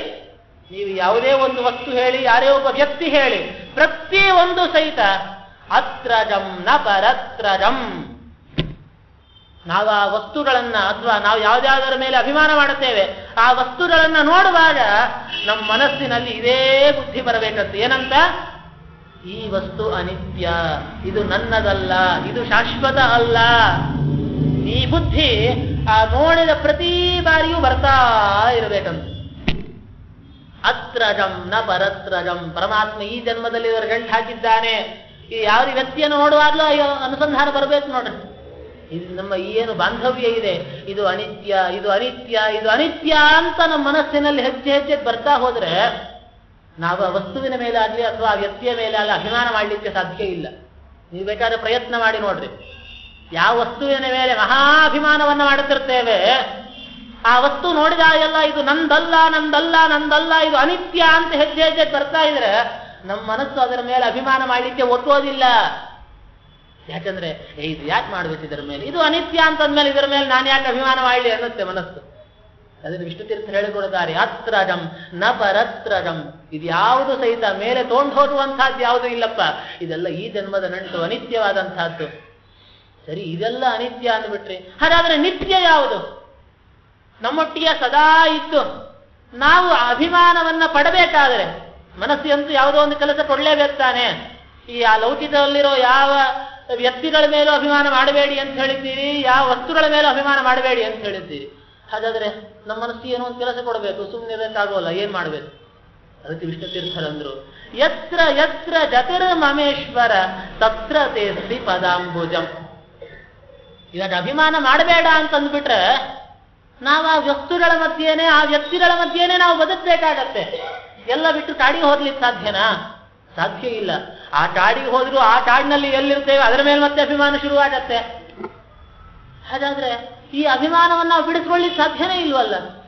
ಎಲ್ಲಿ ಹೋದ್ರು ಅಭಿಮಾನ ಅನ್ನೋದು ನಾವು ಈ ಭೂತರ ಹಿಂದೆ ಜೊತೆ ತರ್ತಾನೆ ಇದ್ರೆ ನಮಗೆ ಮೋಕ್ಷ ಅನ್ನೋದು ಯಾವಾಗ ಸಿಗ್ಬೇಕು? ಹಾಗಾದ್ರೆ ಏನ್ ಮಾಡ್ಬೇಕು ಸ್ವಾಮಿ? ಅದಕ್ಕೆ ವಿಷ್ಣು ತೀರ್ಥರು ಒಳ್ಳೆ ಉಪಾಯ ತೋರಿಸಿಕೊಟ್ರು. ಹೌದಪ್ಪ, ನೀನು ವ್ಯಕ್ತಿಗಳ ಮಧ್ಯೆನೇ ಇರೋ, ವಸ್ತುಗಳ ಮಧ್ಯೆನೇ ಇರೋ. ಆದರೆ ಅದರ ಮೇಲೆ ಅಭಿಮಾನ ಮಾಡುವಾಗ ಆ ವಸ್ತುವಿನ ಮೇಲೆ ಅಥವಾ ವ್ಯಕ್ತಿ ಮೇಲೆ ಅಭಿಮಾನ ಮಾಡಬೇಡ. ಅಲ್ಲಲ್ಲಿ ಆಯಾ ಆಚಾರದಲ್ಲಿ ಆಯಾ ಹೆಸರಿಟ್ಟುಕೊಂಡಿರುವಂತಹ ನಿನ್ನ ಸ್ವಾಮಿ ನಾರಾಯಣ ಏನಿದ್ದಾನೆ, ಅವನ ಮೇಲೆ ಅಭಿಮಾನ ಮಾಡ್ತಾ ಬಾ ಈ ಅಭಿಮಾನ ಒಳ್ಳೆ- ಉಪಾಯ ಆಯ್ತಲ್ಲ ಇದು. ಎತ್ರ ಯತ್ರ ಚತುರ್ಮಮೇಶ್ವರ ನಮಗೆ ನಮ್ಮ ಮಕ್ಕಳ ಮೇಲೆ ಸಿಕ್ಕಾಬಟ್ಟೆ ಮೋಹ. ಅವ್ರಿಗೆ ಏನೊಂಚೂರು ಜಾಯ ಆದರೂ ನಮ್ಮ ತಡೀಲಿಕ್ಕಾಗೋಲ್ಲ ಅವ್ರಿಗೆ ಎಕ್ಸಾಮ್ ಅಲ್ಲಿ ರ್ಯಾಂಕ್ ಬಂದಿಲ್ಲ ಅಂದ್ರೆ ನಮ್ಮನ್ನು ತಡೀಲಿಕ್ಕೆ ಆಗೋಲ್ಲ ಅವ್ರು ನಮ್ಮನ್ನು ಬಿಟ್ಟು ಹೋದ್ರು ಅಂದ್ರೆ ನಮ್ಮನ್ನು ತಡೀಲಿಕ್ಕಾಗೋಲ್ಲ. ಅದೇ ಆ ಯತ್ರ ಯತ್ರ ಜತಿರ್ಮಮೇಶ್ವರ. ಇಷ್ಟು ನಾವು ಮೋಹವನ್ನ ಮಾಡುತ್ತೇವೆ. ವಿಷ್ಣು ತೀರ್ಥರಂದ್ರು, ಅವರ ಮೇಲೆ ಮೋಹ ಮಾಡಬೇಡ. ಒಳ ಇರುವ ಪರಮಾತ್ಮನಲ್ಲಿ ಭಕ್ತಿ ಮಾಡು. ಇವತ್ತಿಂದ ಶುರು ಮಾಡೋಣ. ನಮ್ಮ ಮಕ್ಕಳಿಗೆ ಒಳ್ಳೆ ಒಂದು ಲೋಟ ಹಾಲು ಕಲಿಸ್ಕೊಟ್ವ. ಹೇ ಸ್ವಾಮಿ, ಇದು ನನ್ನ ಮಜನಿಗಲ್ಲ. ಅಲ್ಲಿ ಒಳಗಿರುವಂತಹ ನಿನಗಿದು. ನಿನಗೆ ಹಾಲು ಕಲಿಸಿ ಕೊಡ್ತಾ ಇದ್ದೇನೆ. ನಿನಗೆ ಈ ವಸ್ತ್ರ ಕೊಡ್ತಾ ಇದ್ದೇನೆ. ನಿನಗೆ ಸ್ನಾನಕ್ಕೆ ಹಾಕ್ತಾ ಇದ್ದೇನೆ. ಒಳಗಿರುವಂತಹ ಮಕ್ಕಳ ಸೇವಾ ಮಾಡುವಾಗ ದಾಸರೇನನ್ನೇ ಹೇಳಿದ್ದು ಮಕ್ಕಳಾಡಿಸುವಾಗ ಮಡದಿಯೊಳಚ್ಚರದಿ ನಲಿವಾದ ಹಯಪಲ್ಲಕ್ಕಿ ಗಜ ಮೊದಲಾದ ವಾಹನ ವೇರಿ ಮೆರೆವಾದ ಬಿಕ್ಕುವಾದ ತಳಿಸುತ್ತಲಿ ದೇವಚ್ಚಿತನಯನ ನೆನೆಯುತಿ ಹನರ. ಚಿತ್ತನ ಯಮದೂತರಿಯಾವ ಅಲ್ಲಿ ನೋಡಿದರು ಅಂದರು.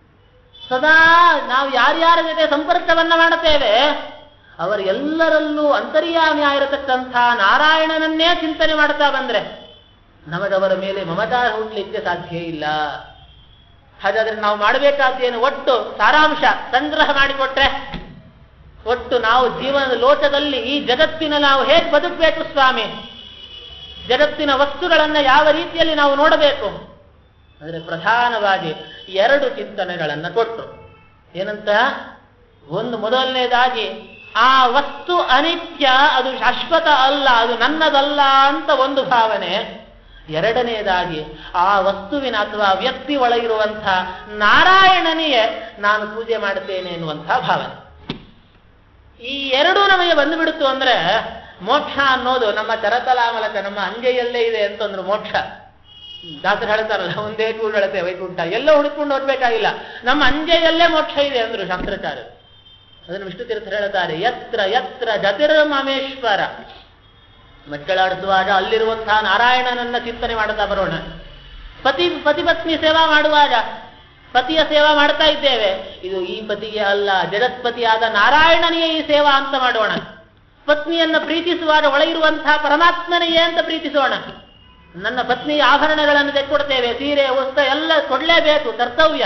ಆದರೆ ಕೊಡುವಾಗ ನನ್ನ ಹೆಂಡತಿಗೆ ಚೆನ್ನಾಗಿರಬೇಕು ಅಂತ ಕೊಡೋದಲ್ಲ, ಒಳ ಇರುವಂಥ ನಾರಾಯಣನಿಗೆ ಇದು ಅಲಂಕಾರವಾಗಲಿ ಅನ್ನೋ ದೃಷ್ಟಿಯಿಂದ ತೆಕ್ಕೊಟ್ರೆ. ಈ ಸೀರೆ ನಾರಾಯಣನಿಗೆ, ಈ ಉಡುಗೆ ಎಲ್ಲ ಉಡುಪು ನಾರಾಯಣನಿಗೆ, ಒಳ ಇರುವಂತಹ ಪರಮಾತ್ಮನಿಗೆ ಅಂತ ಕೊಡೋಣ. ಯಾರ್ಯಾರು ನಮ್ಮ ಮಿತ್ರರಿರ್ತಾರೆ ಆ ಮಿತ್ರರ ಜೊತೆ ಮಾತಾಡುವಾಗಲೂ ಇರುವ ಪರಮಾತ್ಮನನ್ನೇ ದೃಷ್ಟಿಯಲ್ಲಿ ಇಟ್ಕೊಂಡು ಮಾತಾಡಬೇಕು. ಯಾವ ಯಾವ ನಮ್ಮ ವಸ್ತುಗಳಿರ್ತಾವೆ ಆ ವಸ್ತುಗಳನ್ನು ಬಳಸುವಾಗಲೂ ಇದು ಅನಿತ್ಯ. ಒಳಗಿರುವ ನಾರಾಯಣನೇ ನನಗೆ ಆ ಸಂಬಂಧವನ್ನು ಕೊಟ್ಟಿದ್ದಾನೆ ಅಂತ ಅವನ ಚಿಂತನೆ ಮಾಡ್ತಾ ಬಂದ್ರೆ, ಇದನ್ನ ಹೇಳೋದು ಬಹಳ ಸುಲಭ ನೋಡಿ, ಮಾಡೋದು ಬಹಳ ಕಷ್ಟ ಆಗತ್ತೆ. ನೀವು ನಾಳೆ ಬೆಳಗ್ಗೆಯಿಂದ ಬೆಳಗ್ಗೆಯಿಂದ ರಾತ್ರಿ ತನಕ ಏನೇನು ವಸ್ತುಗಳನ್ನು ಬಳಸ್ತೀರಿ? ಅದು ನಿಮ್ಮ ಮನೆ ಇರಬಹುದು ಅಥವಾ ನೀವು ಓಡಾಡುವಂತಹ ಭೂಮಿ ಇರಬಹುದು ನಿಮ್ಮ ಪದಾರ್ಥಗಳಿರಬಹುದು. ಪ್ರತಿಯೊಂದು ವಸ್ತುವಿನ ಮೇಲೂ ಮಮಕಾರವನ್ನು ಮಾಡ್ತೇವೆ. ಸರ್ವತ್ರ ಇದು ನಾರಾಯಣ ಒಳಗಿರುವಂತಹ ನಾರಾಯಣನೇ. ವಸ್ತ್ರ ಉಡುವಾಗ ಇದು ನನ್ನ ವಸ್ತ್ರ ಅಲ್ಲ. ಈ ವಸ್ತ್ರದಲ್ಲೂ ಉಪೇಂದ್ರ ನಾಮಕ ಪರಮಾತ್ಮ ಇದ್ದಾನೆ. ನನ್ನ ದೇಹಧಾರಿಯಾಗೂ ಇಲ್ಲೂ ನಾರಾಯಣ ಇದ್ದಾನೆ. ಈ ವಸ್ತ್ರವನ್ನು ಅವನಿಯೇ ಸಮರ್ಪಣೆ ಮಾಡ್ತಾ ಇದ್ದೇನೆ. ಹಾಗಾಗಿ ಇದು ನನ್ನ ವಸ್ತ್ರ ಅಲ್ಲ. ಇಂತ ಈ ಚಿಂತನೆ ಮಾಡಿಬಿಟ್ರೆ ಅದು ಎಷ್ಟೇ ಪೀತಾಂಬರ ಇರಬಹುದು, ಜರಿ ಇರಬಹುದು, ಅಂತಿರಬಹುದು. ಅದರ ಮೇಲೆ ಮಮಚಾರ ಬಳ್ಳಿಕ್ಕೆ ಸಾಧ್ಯ ಇಲ್ಲ ನೋಡಿ. ಅದನ್ನು ಹೇಳ್ತಾರೆ ಎತ್ರ ಯತ್ರ, ಜತಿರ್ಮಮೇಶ್ವರ. ವಿಷ್ಣು ತೀರ್ಥರು ಹೇಳಿಕೊಡ್ತಾರೆ, ಹೇ ಸ್ವಾಮಿ ನಾನು ಈ ವಸ್ತುಗಳನ್ನ ವ್ಯಕ್ತಿಗಳನ್ನಂತೂ ಬಿಟ್ಟು ಹೋಗ್ಲಿಕ್ಕೆ ಸಾಧ್ಯ ಇಲ್ಲ. ಆದರೆ ನನ್ನ ಮನಸ್ಸು ಎಲ್ಲೆಲ್ಲಿ ಹೋಗುತ್ತೆ ಯಾವ ಯಾವ ವಸ್ತುಗಳ ಕಡೆ ನನ್ನ ಮನಸ್ಸು ಹೋಗುತ್ತೆ ಅಥವಾ ಯಾವ ಯಾವ ವ್ಯಕ್ತಿಗಳ ಕಡೆ ನನ್ನ ಮನಸ್ಸು ಹೋಗುತ್ತೆ ತತ್ರ ತೇಸ್ತಿ ಪದಾಂಬುಜಂ. ಅಲ್ಲಿ ನೀನು ಇಲ್ವೇನಯ್ಯ? ಪ್ರಶ್ನೆ ಮಾಡ್ತಾರೆ ನೋಡಿ ದೇವರಿಯ ಪ್ರಶ್ನೆ ಮಾಡ್ತಾರೆ ವಿಷ್ಣು ತೀರ್ಥರು. ನನ್ನ ನನ್ನ ಮನಸ್ಸು ಎಲ್ಲೆಲ್ಲಿ ಹೋಗುತ್ತೆ ಅಲ್ಲಿ ನೀನು ಇದ್ದೀಯಾ ಇಲ್ವಾ? ಇದ್ದೇ ಇದ್ದೀನಿ ನೀನು. ಇಲ್ಲ ಅಂದ್ರೆ ನಿನ್ನ ಸರ್ವವ್ಯಾಪಕತ್ವಕ್ಕೆ ಭಂಗ.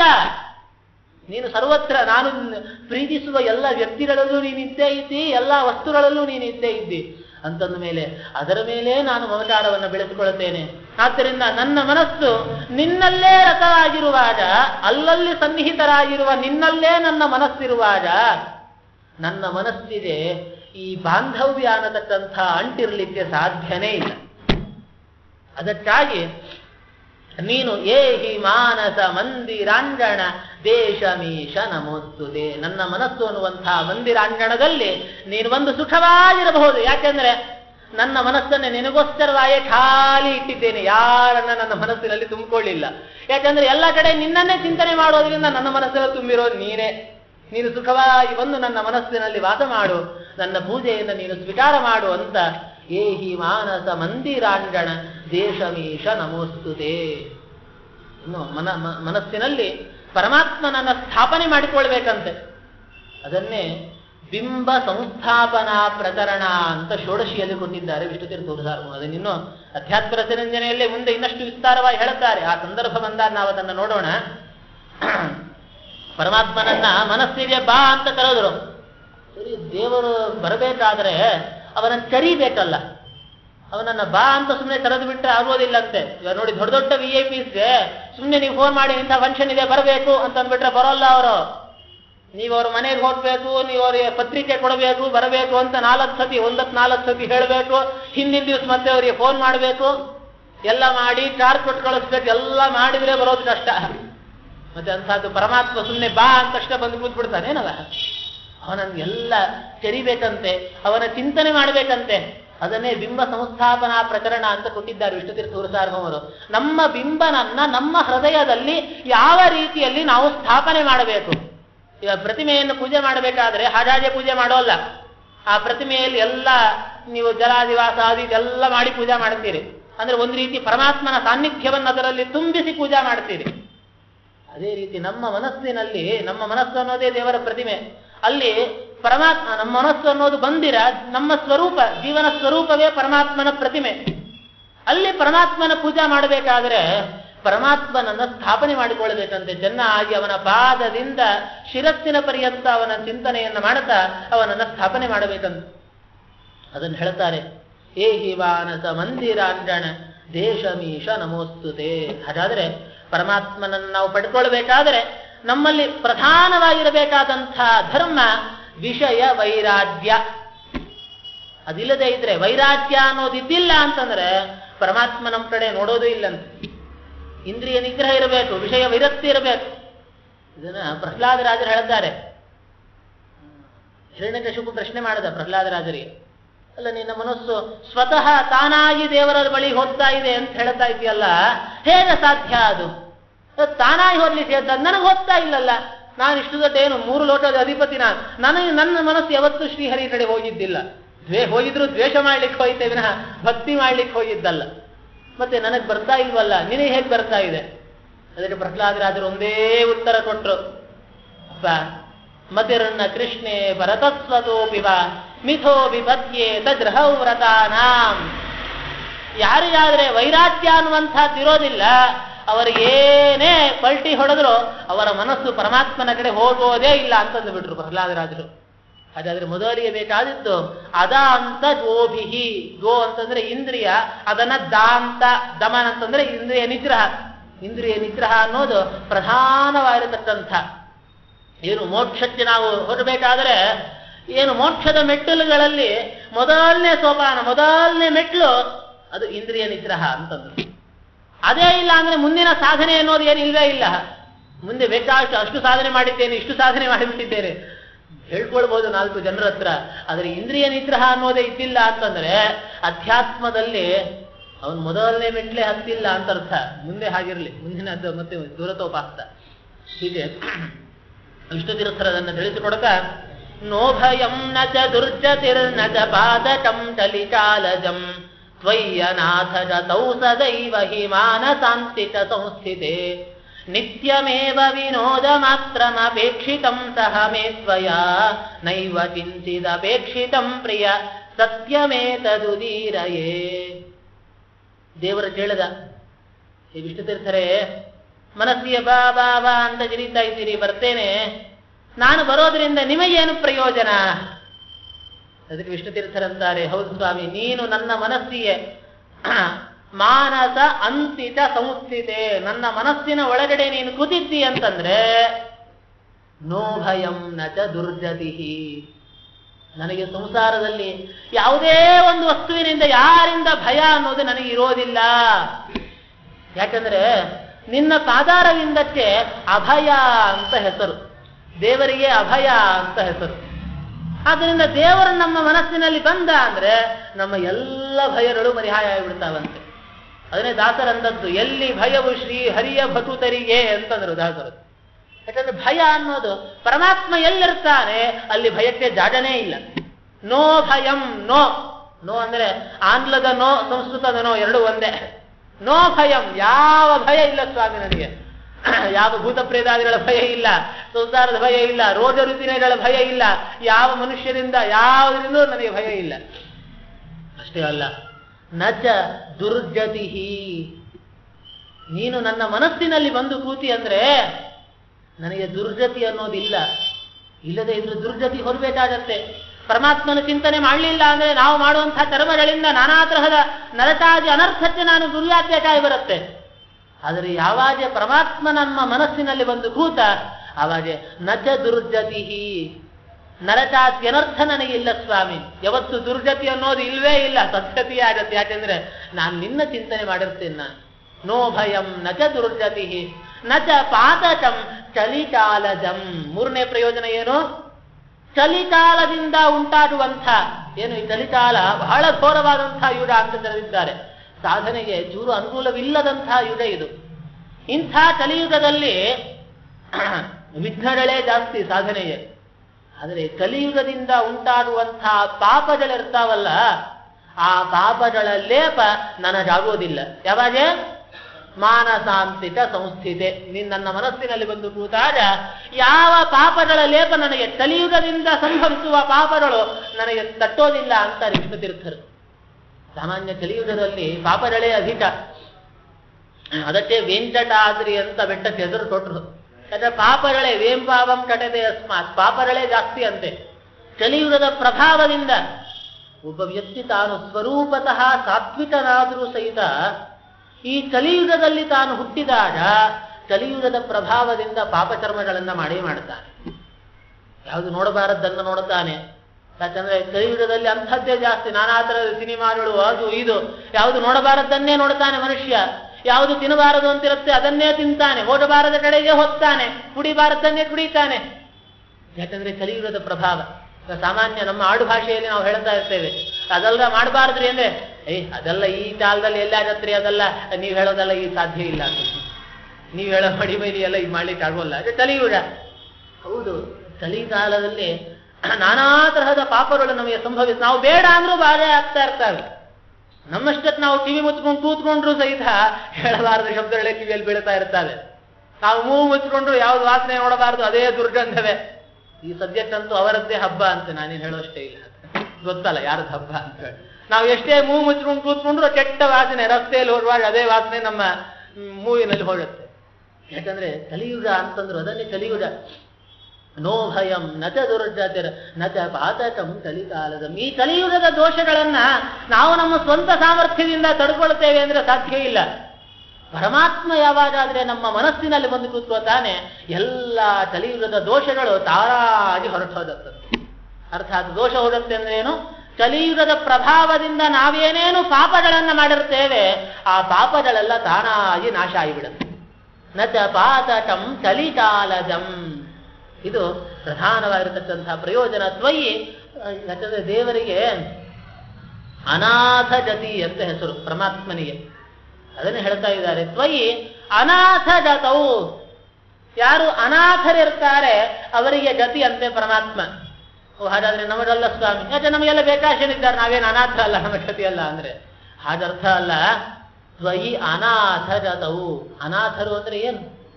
ಅನಾಥರು ಅಂದ್ರೆ ಈ ಲೌಕಿಕವಾಗಿರತಕ್ಕಂತಹ ದೃಷ್ಟಿಯಲ್ಲ ಅನಾಥಗತವು ಪರಮಾತ್ಮನನ್ನ ಬಿಟ್ರೆ ಮತ್ತೊಬ್ಬ ನಾಥ ನನಗಿಲ್ಲ ಅಂತ ಯಾರು ಚಿಂತನೆ ಮಾಡಿರ್ತಾರೆ? ಅವರು ಅನಾಥರು. ಅ ಅಂದ್ರೆ ಪರಮಾತ್ಮ, ಅವನನ್ನೇ ನಾಥನನ್ನಾಗಿ ಉಳ್ಳಂಥವರು ಅನಾಥರು. ಅಂಥ ಅನಾಥರಿಯ ಗತಿ, ಗಮ್ಯ ಪರಮಾತ್ಮ. ನೋ ಭಯಂ. ನಾವು ಹಾಗಲ್ಲ. ನಮ್ಮ ಅನೇಕ ಜನ ನಾಥರಿದ್ದಾರೆ ಅಂತ ನಾವು ತಿಳ್ಕೊಂಡಿರ್ತೇವೆ. ಏನಾದ್ರೂ ಸ್ವಲ್ಪ ತೊಂದರೆ ಬಂತು ಅಂದ್ರೆ ತಕ್ಷಣ ಯಾರತ್ರ ಓಡಿ ಹೋಗ್ತೇವೆ. ಯಾಕೆ? ಅವರು ನಮ್ಮ ತೊಂದರೆಯನ್ನು ಪರಿಹಾರ ಮಾಡುತ್ತಾರೆ. ಈ ನಮ್ಮ ಮನಸ್ಸಿನಲ್ಲಿ ಕೂತ್ಬಿಟ್ಟಿದೆ ಅದು. ಏನು ಸಣ್ಣ ಸಮಸ್ಯೆ ಆಯಿತು, ಅದು ಯಾರ ಹತ್ರ ಹೋಗಿ ಹೇಳ್ಕೊಳ್ತೇವೆ. ನಮ್ಮ ಸ್ನೇಹಿತರ ಹತ್ರ ಹೇಳ್ಕೊಳ್ತೇವೆ. ನೋಡಿ, ನಮಗೆ ಇಷ್ಟು ಕಷ್ಟ ಬಂದುಬಿಟ್ಟಿದೆ. ನಮ್ಮ ಬಂಧು ಬಾಂಧವರ ಹತ್ರ ಹೋಗಿ ಹೇಳ್ಕೊಳ್ತೇವೆ. ಈ ಕಷ್ಟ ಬಂದಿದೆ, ನಮಗೆ ಇದರ ಪರಿಹಾರ ಮಾಡಬೇಕು. ನಮಗೆ ನೀವೇ ಏನಾದರೂ ಸಹಾಯ ಮಾಡಬೇಕು ಅಂತ ಯಾರ್ಯಾರನ್ನು ಹೋಗಿ ಯಾಚನೆ ಮಾಡುತ್ತೇವೆ? ಕಂಡ ಕಂಡವರನ್ನ ಯಾಚನೆ ಮಾಡುತ್ತೇವೆ. ಅದನ್ನೇ ಮಾಡಿ ಹೇಳುತ್ತಾರೆ, ಕಂಡ ಚಂಡರ ನೀನು ಯಾಚಿಸಿ ದುಃಖ ಸಾಗರದೊಳಗೆ ಮುಳುಗದಿರು. ಸ್ವಪ್ನ ಪದದಲ್ಲಿ ವಾದಿರಾಜ ಎತ್ತರ ಕೊಟ್ಟರು ಇದನ್ನೇನೆ. ಯಾಕಂದ್ರೆ ನಮ್ಮ ಮನಸ್ಸಿನಲ್ಲಿ ಭಾವನೆ ಏನು? ಇವರೇ ನಮಗೆ ನಾಥರು, ಇವರು ನಮ್ಮ ದುಃಖವನ್ನು ಪರಿಹಾರ ಮಾಡುತ್ತಾರೆ ಅಂತ ಹೇಳಿ. ಆದರೆ ಸ್ವಾಮಿ ಅವರಲ್ಲಿ ನಿಂತು ಮಾಡಿಸ್ತಾನೆ ಅನ್ನೋ ಎತ್ತರ ಮರ್ತೋಡು ಬಿಟ್ಟಿರತ್ತೆ. ಅದನ್ನೇ ವಾದಿರಾಜರ ಲಕ್ಷ್ಮೀ ಶೋಭಾನೆಯಲ್ಲಿ ಕೇಳುತ್ತಾರೆ. ಒಬ್ಬ ದುಃಖದಿಂದ ಕೂಡಿರುವಂತಹ ವ್ಯಕ್ತಿ ತಾನು ಮತ್ತೊಬ್ಬರ ದುಃಖವನ್ನು ಪರಿಹಾರ ಮಾಡಲಿಕ್ಕೆ ಹೇಗೆ ಸಾಧ್ಯ? ಕೆಸರೋಳು ಮುಳುಗಿದವ, ಪರರ ಬಾಧಿಪ ಕೆಸರ ಬಿಡಿಸುವನೇ ಅಂತ ರಾಜರು ಪ್ರಶ್ನೆ ಮಾಡಿದರು. ನಾವು ನಮ್ಮ ದುಃಖಗಳನ್ನ ಯಾರ್ಯಾರ ಹತ್ರ ಹೇಳ್ಕೊಳ್ಳೋದು, ನಮ್ಮ ಸ್ನೇಹಿತರ ಹತ್ರ ಹೇಳ್ಕೊಂಡಿದ್ದೇವೆ ಅಂತ ಇಟ್ಕೊಳ್ಳಿ. ಅವನಿಗೆ ದುಃಖ ಇರೋಲ್ಲೇನು? ಅವನೇ ಒಂದು ನಾನಾ ದುಃಖಗಳಲ್ಲಿ ಮುಳುಗಿರ್ತಾನೆ, ಅವನು ನಮ್ಮ ದುಃಖ ಪರಿಹಾರ ಮಾಡೋದೆಂತ ಹಾಗಾದ್ರೆ ಎಲ್ಲರಲ್ಲೂ ನಿಂತು ಪರಮಾತ್ಮನೇ ಮಾಡಿದ್ದಾನೆ ಅಂತ ಅವರನ್ನೇ ನಾಥ ಅಂತ ಭಾವಿಸಿ ಅವನ ಬಳಿಯಲ್ಲಿ ಹೇಳ್ಕೊಳ್ಬೇಕಂತೆ. ಯಾರ್ಯಾರ ಹತ್ರ ಹೇಳ್ಕೊಳ್ಬೇಡ. ಕಂಡ ಕಂಡರ ನೀನು ಯಾಚಿಸಿ ದುಃಖ ಸಾಗರದೊಳಗೆ ಮುಳುಗದಿರು. ಯಾರ್ಯಾರನ್ನೋ ಯಾಚನೆ ಮಾಡಬೇಡಪ್ಪ. ನನ್ನನ್ನ ಯಾಚನೆ ಮಾಡು. ನಾನು ಸ್ವಾಮಿ, ನಾನು ಅನಾಥ ಜತಿ. ಇದನ್ನೇ ಭಾಗವತದಲ್ಲಿ ಅವಿಜ್ಞಾತ ಸಖ ಅಂತ ಪುರಂಜನೋಪಾಖ್ಯಾನದಲ್ಲಿ ತಿಳಿಸಿರತಕ್ಕಂಥದ್ದು ಪುರಂಜನನಿಗೆ ದುಃಖ ಬಂದಾಗ ಯಾರ್ಯಾರನ್ನೋ ಆಶ್ರಯಿಸಿದ ಇರುವಂತಹ ಅವಿಜ್ಞಾತ ಸಖನನ್ನ ಮರೆತು ಬಿಟ್ಟ ಇನ್ಯಾರ್ಯಾರನ್ನ ಆಶ್ರಯಿಸಿದ? ಐದು ಐದು ಹೆಡೆಯ ಹಾವೇ ನನ್ನನ್ನ ರಕ್ಷಣೆ ಮಾಡುತ್ತೆ. ಈ ನನ್ನ ಸೈನಿಕರೇ ನನ್ನನ್ನ ರಕ್ಷಣೆ ಮಾಡುತ್ತಾರೆ.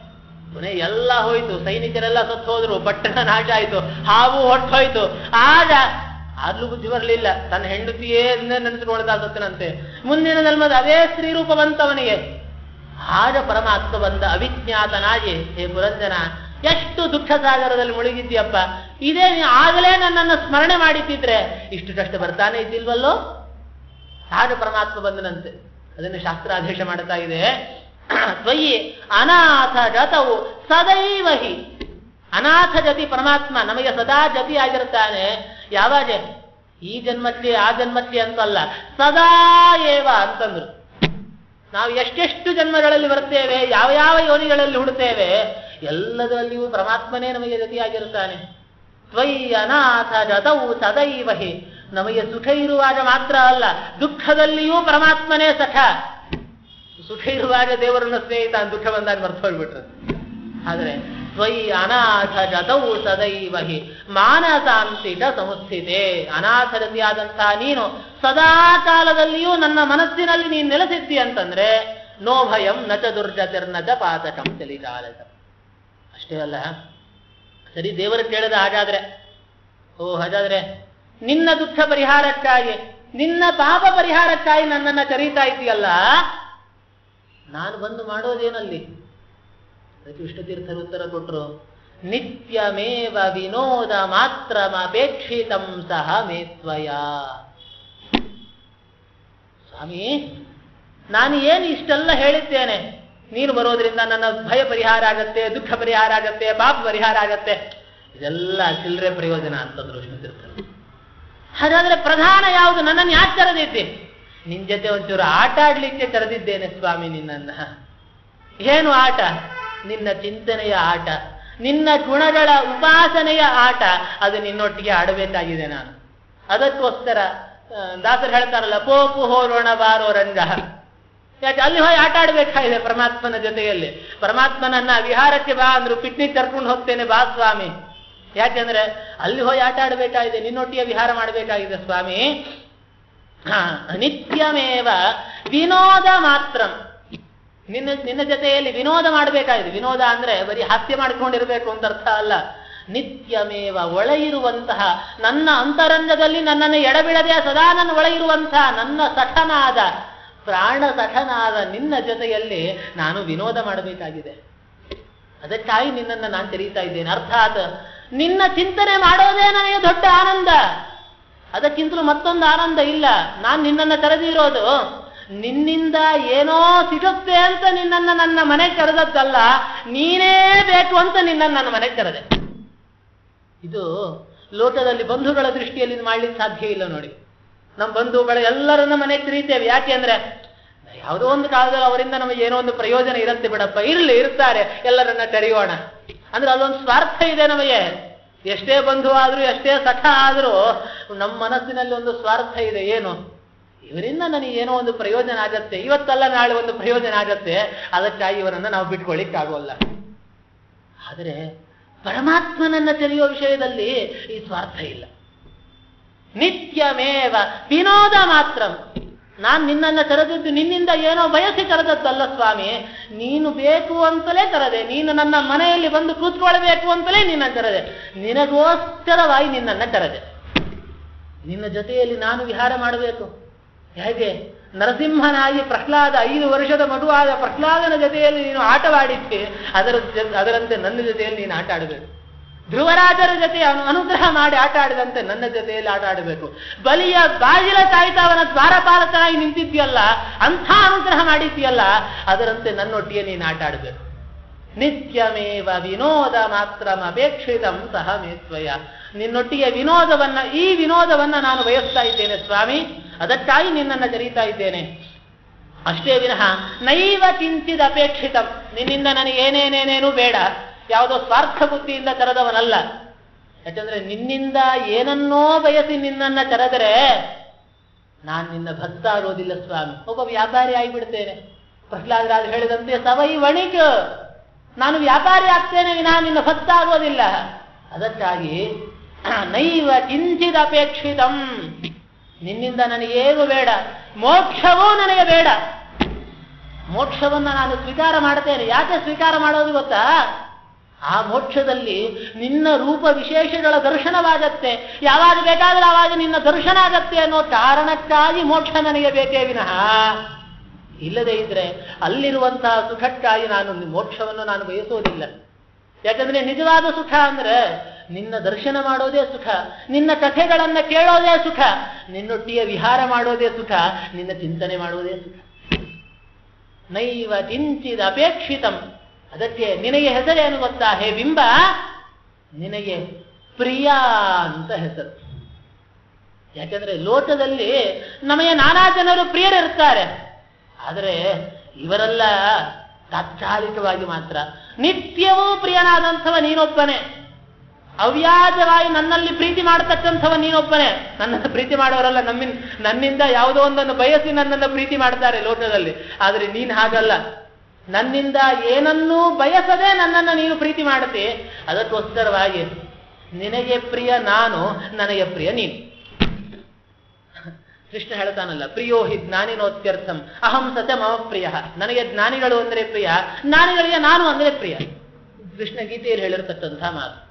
ಅದನ್ನೇ ವಿಷ್ಣು ತೀರ್ಥರಂತಾರೆ ನೈವ ಕಿಂಚಿದ ಅಪೇಕ್ಷಿತಂ ಹೇ ಪ್ರಿಯ, ನನಗೆ ಇಷ್ಟವಾದ ವಸ್ತುಗಳು ಅಂತ ಏನೇನಿದ್ದಾವೆ, ಅದೆಲ್ಲದಕ್ಕಿಂತಲೂ ಅತಿಶಯೇನ ಇಷ್ಟನಾಗಿರತಕ್ಕಂಥವ ನೀನೊಬ್ಬನೇ. ಇದನ್ನೇ ಶ್ರೀಮದಾಚಾರ್ಯರು ಇಷ್ಟಾದ ಅಭೀಷ್ಟೋತ್ತಮ ಪ್ರೇಷ್ಠ ಪ್ರೇಷ್ಠತಮಾಯತೆ.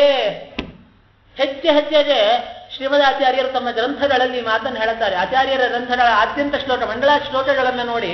ಆಚಾರ್ಯರು ಹೇಳುತ್ತಾರೆ, ಮಮ ಅಭ್ಯಧಿಕ ಮಿತ್ರೇ ಚ ನಮೋ ನಾರಾಯಣಾಸ್ತು. ನನಗೆ ಅತ್ಯಂತ ಮಿತ್ರನಾದ, ನನಗೆ ಅತ್ಯಂತ ಆಪ್ತನಾದ, ಯಸ್ಯಾಹಂ ಆಪ್ತ ಆಪ್ತೇಭ್ಯೋ, ಯೋಮೇ ಆಪ್ತತಮಸ್ತದ. ಆಚಾರ್ಯರ ಗ್ರಂಥಗಳಲ್ಲಿ ಒಂದು ಕಡೆ, ಎರಡು ಕಡೆಯಲ್ಲಿ ಹಾಸು ಹೊತ್ತಾಗಿ ಅನೇಕ ಕಡೆ ಈ ಮಾತುಗಳು ಕಾಣಿಸ್ತಾವೆ. ಏನಂತ? ನನಗೆ ಅತ್ಯಂತ ಇಷ್ಟವಾದಂಥವ ಅಂದ್ರೆ ಪರಮಾತ್ಮ. ಅನುವ್ಯಾಖ್ಯಾನದಲ್ಲಿ ಹೇಳ್ತಾರೆ, ನಾರಾಯಣಂ ನಿಖಿಲ ಪೂರ್ಣ ಋಣೈತ ದೇಹಂ ನಿರ್ದೋಷಂ ಅಪ್ಯತಮಪ್ಯಖಿಲೇಸ್ಸು ವಾಕ್ಯೈ ಅತ್ಯೋದ್ಭವಾದಿನ ವದೇಶ ವಿಶೇಷದೋಪಿ ವಂದ್ಯಂ ಸದಾ ಪ್ರಿಯತಮಂ ಮಮ ಸನ್ನವಾಮಿ. ನನಗೆ ಸದಾ ಪ್ರಿಯತಮನಾಗಿರತಕ್ಕಂಥ ನಿನಗೆ ನಮಸ್ಕಾರ. ಅಂದ್ರೆ ಪರಮಾತ್ಮನ ಜೊತೆಯಲ್ಲಿ ನಾವು ಬೆಳೆಸಿಕೊಳ್ಳಬೇಕಾದ ಧರ್ಮ ಯಾವುದು? ಅಂದ್ರೆ ಪ್ರೀತಿ, ಸ್ನೇಹ. ದೇವರ ಜೊತೆಯಲ್ಲಿ ಸ್ನೇಹವನ್ನು ಬೆಳೆಸಿಕೊಳ್ಬೇಕು. ದೇವರಲ್ಲಿ ಸ್ನೇಹವನ್ನು ಮಾಡಬೇಕೇ ವಿನಃ ಭಯ ಪಟ್ಕೊಂಡು ಅವರಲ್ಲಿ ಭಕ್ತಿ ಮಾಡುವುದರಲ್ಲಿ ಅರ್ಥ ಇಲ್ಲ. ಅದು ನಿಜವಾದ ಭಕ್ತಿ ಅಲ್ಲ. ನಾವು ಎಲ್ಲ ವೈದಿಕ ಧರ್ಮಾನುಷ್ಠಾನ ಮಾಡುತ್ತೇವೆ. ಬೆಳಿಗ್ಗೆದ್ದು ಸ್ನಾನ ಮಾಡಿದ್ವಿ, ದೇವ್ರ ಪೂಜೆ ಮಾಡಿದ್ವಿ, ಎಲ್ಲ ಪಾಠ ಯಾಕೆ? ಅಲ್ಲ, ಮಾಡದೇ ಇದ್ರೆ ಏನಾಗೋಗ್ಬಿಡುತ್ತೋ ಏನೋ? ದೇವರ ಪೂಜೆ ಬಿಟ್ರೆ ಬಿಡುತ್ತೋ ಏನೋ? ಅದಕ್ಕೆ ದೇವರ ಪೂಜೆ ಮಾಡ್ತೇನೆ. ಸಂಧ್ಯಾವನೆ ಬಿಟ್ರೆ ಏನೋ ಬಿಡುತ್ತೆ, ಗಾಯತ್ರಿ ಬಿಟ್ರೆ ಏನೋ ಬಿಡುತ್ತೆ, ಅದಕ್ಕೆ. ಭಯದಿಂದ ನೀವು ಮಾಡಬೇಡಿ, ಪ್ರೀತಿಯಿಂದ ಮಾಡ್ರಿ ಅಂತ. ಏಕಾದಶಿ ಮಾಡಬೇಕು, ಯಾಕೆ? ಏಕಾದಶಿ ಬಿಟ್ರೆ ಅನ್ನಂತ ಮತ್ತೆ ಹೊರ್ಕೋತೇವೆ ಅಯ್ಯೋ, ಅದಕ್ಕೋಸ್ಕರ ಏಕಾದಶಿ ಮಾಡ್ತೇವೆ. ಬೇಡ. ಅನ್ನದ ಹೊರಟೋತ್ತೇವೆ ಅಂತ ಅನ್ನಂತ ಸಮಸ್ಯೆನ ಭಯಕ್ಕಾಗಿ ಏಕಾದಶಿ ಮಾಡಬೇಡಿ. ಏಕಾದಶಿ ಮಾಡಿದರೆ ನಾನು ದೇವರಿಗೆ ಇಷ್ಟನಾಗ್ತೇನೆ, ಅದಕ್ಕೋಸ್ಕರ ನಾರಾಯಣನಿಗೋಸ್ಕರ ಏಕಾದಶಿ ಮಾಡ್ತೇನೆ. ಅದೆಷ್ಟು ಕಷ್ಟ ಆದರೂ ಅಡ್ಡಿ ಇಲ್ಲ. ಎಷ್ಟು ಹೊಟ್ಟೆ ಸುಟ್ಟರು ಅಡ್ಡಿ ಇಲ್ಲ, ನಾನು ಬಿದ್ದು ಹೋದ್ರು ಸತ್ರು ಅಡ್ಡಿ ಇಲ್ಲ. ಯಾಕೆ? ಏಕಾದಶಿ ಮಾಡಿದರೆ ದೇವರು ನನ್ನನ್ನ ತನ್ನ ಪ್ರಿಯ ಅಂತ ಹತ್ರ ತರ್ಪ ಅದಕ್ಕೋಸ್ಕರ ಏಕಾದಶಿ ಮಾಡ್ತೇನೆ. ಅದಕ್ಕೋಸ್ಕರ ಎಲ್ಲ ಅಗ್ನಿಹೋತ್ರ ಮಾಡ್ತೇನೆ, ಪೂಜಾ ಮಾಡ್ತೇನೆ, ಸ್ನಾನ ಸಂಧ್ಯಾದ ಸಮಸ್ತ ಕರ್ಮ ಮಾಡ್ತೇನೆ. ಅದಕ್ಕೋಸ್ಕರವಾಯ್ತು ಮಾಸ್ತಿ ಮಾಡ್ತೇನೆ. ಏನೋ ಎಲ್ಲಾದ್ರೆ ಬರೀ ಜೀರಿಗೆ ಮೆಣಸಿದ್ಕೊಂಡು ಯಾಕೆ ಒದ್ದಾಡ್ಬೇಕು ನಾಲ್ಕು ತಿಂಗಳು? ಯಾಕೆ? ದೇವರಿಗೆ ನಾನು ಪ್ರಿಯ ಆಗ್ತೇನೆ ಸ್ವಾಮಿ ಹೇಳಿದ್ದಾನೆ, ಯಾರು ಚಾತುರ್ಮಾಸ್ಯ ಮಾಡ್ತಾರೆ ಅವರು ನನ್ನ ಇಷ್ಟರು ಅಂತ ವರಾಹ ಪುರಾಣದಲ್ಲಿ ಹೇಳಿದ್ದಾನೆ. ಅವನಿಗೆ ಇಷ್ಟ ಆಗೋದಕ್ಕೋಸ್ಕರ ನಾನು ಮಾಡ್ತೇನೆ. ಅಂದ್ರೆ, ಭಗವಂತನಲ್ಲಿ ಭಯ ಮಾಡೋದಲ್ಲ ಭಯ ಭಾವನೆ ಮಾಡೋದಲ್ಲ, ಭಕ್ತಿಯಿಂದ ವೈದಿಕ ಕರ್ಮಾನುಷ್ಠಾನವನ್ನ ಮಾಡಬೇಕಂತ. ಅದು ಭಕ್ತಿ ಬಂದಿಲ್ಲ ಅಂದ್ರೆ ಶ್ರಮ ಏವ ಕೇವಲಂ. ಭಾಗವತ ಉತ್ತರ ಕೊಟ್ಬಿಡ್ತದಕ್ಕೆ ನೋತ್ಪಾದಯೇದ್ ಇದು ನೋಡ್ಲಿಲ್ಲ ನೋತ್ಪಾದ ನೋತ್ಪಾದಯೇದ್ ಯದಿರತಿಂ ಶ್ರಮ ಏವ ಅಂತಾರೆ. ನಾವು ಭಗವಂತನಲ್ಲಿ ಭಕ್ತಿ ಇಲ್ಲದೆ ಮಾಡಿದ್ದೇವೆ ಅಂದ್ರೆ ಅದು ಕೇವಲ ಶ್ರಮ, ಅದು ದೈಹಿಕ ಶ್ರಮ, ಎಲ್ಲ ಒದ್ದಾಡಿದ್ದಾಯ್ತೇ ವಿನಃ ಅದರಿಂದ ಏನು ಪ್ರಯೋಜನ ಇಲ್ಲ ಅಂತಾರೆ ಶಾಸ್ತ್ರಚಾರರು ಅದಕ್ಕೋಸ್ಕರ ಪರಮಾತ್ಮನಲ್ಲಿ ಯಾರ್ಯಾರ ಜೊತೆಯಲ್ಲೂ ಸ್ನೇಹ ಮಾಡ್ತೇವಂತೆ. ಅದೆಂಥದ್ದು ಫ್ರೆಂಡ್ಶಿಪ್ ಬ್ಯಾಂಡು ಅಂತ ಹೇಳಿ. ಫ್ರೆಂಡ್ಶಿಪ್ ಬ್ಯಾಂಡು ಲವರ್ ಬ್ಯಾಂಡು ಎಲ್ಲದಕ್ಕೂ ಬಂದ್ಬಿಟ್ಟಿದೆ ಬ್ಯಾಂಡುಗಳು. ನಿಜವಾಗ್ಲು ಯಾರ ಜೊತೆ ಸ್ನೇಹ? ನಿಜವಾದ ಫ್ರೆಂಡು ನಿಜವಾದ ಸಖ ನಾರಾಯಣ, ಅವನ ಜೊತೆಯಲ್ಲಿ ಸ್ನೇಹ ಬೆಳೆಸ್ಕೊಳ್ಬೇಕಂತೆ? ಒಳ ಒಳಗೆ, ಒಳಗೇ ಇರುವಂತಹ ಈ ಸ್ನೇಹಿತನನ್ನು ಬಿಟ್ಬಿಟ್ವಿ. ಕಂಡು ಕಂಡವರ ಸ್ನೇಹಿತ ಫ್ರೆಂಡ್ಶಿಪ್ ಬ್ಯಾಡ್ ಕಟ್ಕೊಂತ ಹೋದ್ವಿ ನಾವು. ಏನು ದಿನ ಬೆಳಿಗ್ಗೆ ಗುಡ್ ಮಾರ್ನಿಂಗ್ಗಳೇನು ಗುಡ್ ನೈಟ್ಗಳೇನು ಮೆಸೇಜ್ಗಳು ಕಳಿಸಿದ್ದೆ ವಾಟ್ಸಪ್ ಅಂತೆ, ಅದಂತೆ, ಇದಂತೆ. ಬೆಳಗ್ಗೆ ಎದ್ದು ಕಳೆದು ಇದೇ ಚಟ ಕೆಲವರಿಗೆ. ಒಳ ಇರೋ ಸ್ವಾಮಿಗೆ ಗುಡ್ ಮಾರ್ನಿಂಗ್ ಹೇಳಿ ಗೊತ್ತಿಲ್ಲ. ಒಳ ಇರೋ ಸ್ವಾಮಿಗೆ ಉತ್ತಿಷ್ಟೋತ್ತಿಷ್ಟ ಗೋವಿಂದ ಹೇಳಿ ಗೊತ್ತಿಲ್ಲ. ಕಂಡ ಕಂಡವರಿಗೆ ಬೆಳಿಗ್ಗೆ ಎದ್ದು ಗುಡ್ ಮಾರ್ನಿಂಗ್ ಮೆಸೇಜ್ ಕಳಿಸ್ಬಿಡೋದು ಅದಕ್ಕೆ ವಿಷ್ಣುತೀರ್ಥರಂತಾರೆ ನೈವ ಚಿಂತಿದ ಅಪೇಕ್ಷಿತಂ ಪ್ರಿಯ. ನನಗೆ ಪ್ರಿಯನಾದಂಥವ ನೀನು ಸ್ವಾಮಿ. ನಿನ್ನ ಜೊತೆಯಲ್ಲಿ ನಾನು ವಿನೋದ ಮಾಡ್ತೇನೆ, ಸ್ನೇಹವನ್ನು ಬೆಳೆಸಿಕೊಳ್ತೇನೆ. ಈ ಸ್ನೇಹ, ಇದು ಎಷ್ಟು ಬೆಳೆಸಿಕೊಂಡ್ರೂ ತೊಂದರೆ ಇಲ್ಲ. ಲೌಕಿಕ ಸ್ನೇಹ ಆದ್ರೆ ಹೆಚ್ಚು ಬೆಳೆಸ್ಕೊಂಡ್ಬಿಟ್ರೆ ಅವರು ಹೋದಾಗ ನಮಗೆ ದುಃಖ ಆಗತ್ತೆ. ಆದರೆ ಈ ಸ್ನೇಹ ಆಗಲ್ಲ. ಯಾವತ್ತು ದೇವರು ನಮ್ಮನ್ನು ಬಿಟ್ಟು ಹೋಗೋಲ್ಲ ಅವನನ್ನು ಬಿಟ್ಟು ನಾವಿವತ್ತು ಹೋಗೋಲ್ಲ ಆದ್ದರಿಂದ ಒಳಗಿರುವಂತಹ ನಿನ್ನೊಟ್ಟಿಗೆ ಈ ಸ್ನೇಹವನ್ನು ಇನ್ನಷ್ಟು ಅಭಿವೃದ್ಧಿ ಆಗುವಂತೆ ಮಾಡು ಸ್ವಾಮಿ. ಪ್ರಿಯ, ಇದು ಸುಮ್ಮನೆ ಸುಳ್ಳು ಮಾತಲ್ಲ. ಇದು ನಾನು ಸತ್ಯಮೇತದುದೀ ಉದೀರಯೇ. ಸತ್ಯವಾದ ಮಾತು ಹೇಳ್ತಾ ಇದ್ದೇನೆ ಸ್ವಾಮಿ. ಅಂದ್ರೆ ನನ್ನ ಇದು ಬರೀ ಬಾಯಿಂದ ಬರುವ ಶಬ್ದಗಳಲ್ಲ ಕೃಷ್ಣ, ನನ್ನ ಮನಸ್ಸಿನಿಂದ ಬರ್ತಾ ಇದೆ. ನಿನ್ನೊಟ್ಟಿಗೆ ನನ್ನ ಸ್ನೇಹವನ್ನು ಬೆಳೆಸು. ಇಷ್ಟು ಪ್ರಾರ್ಥನೆ ಮಾಡುತ್ತಾ ಮುಂದೆ ಆಧ್ಯಾತ್ಮಿಕ ಪೂಜೆಯ ಬಗ್ಗೆ ಹೇಳ್ತಾ ಹೋಗ್ತಾರೆ. ನಾಳೆ ದಿವಸ ನೋಡೋಣ ಅಂತ ಹೇಳ್ತಾ ಶ್ರೀಕೃಷ್ಣ ಅರ್ಪಣ ಮತ್ತು ಮಧ್ವೇಶ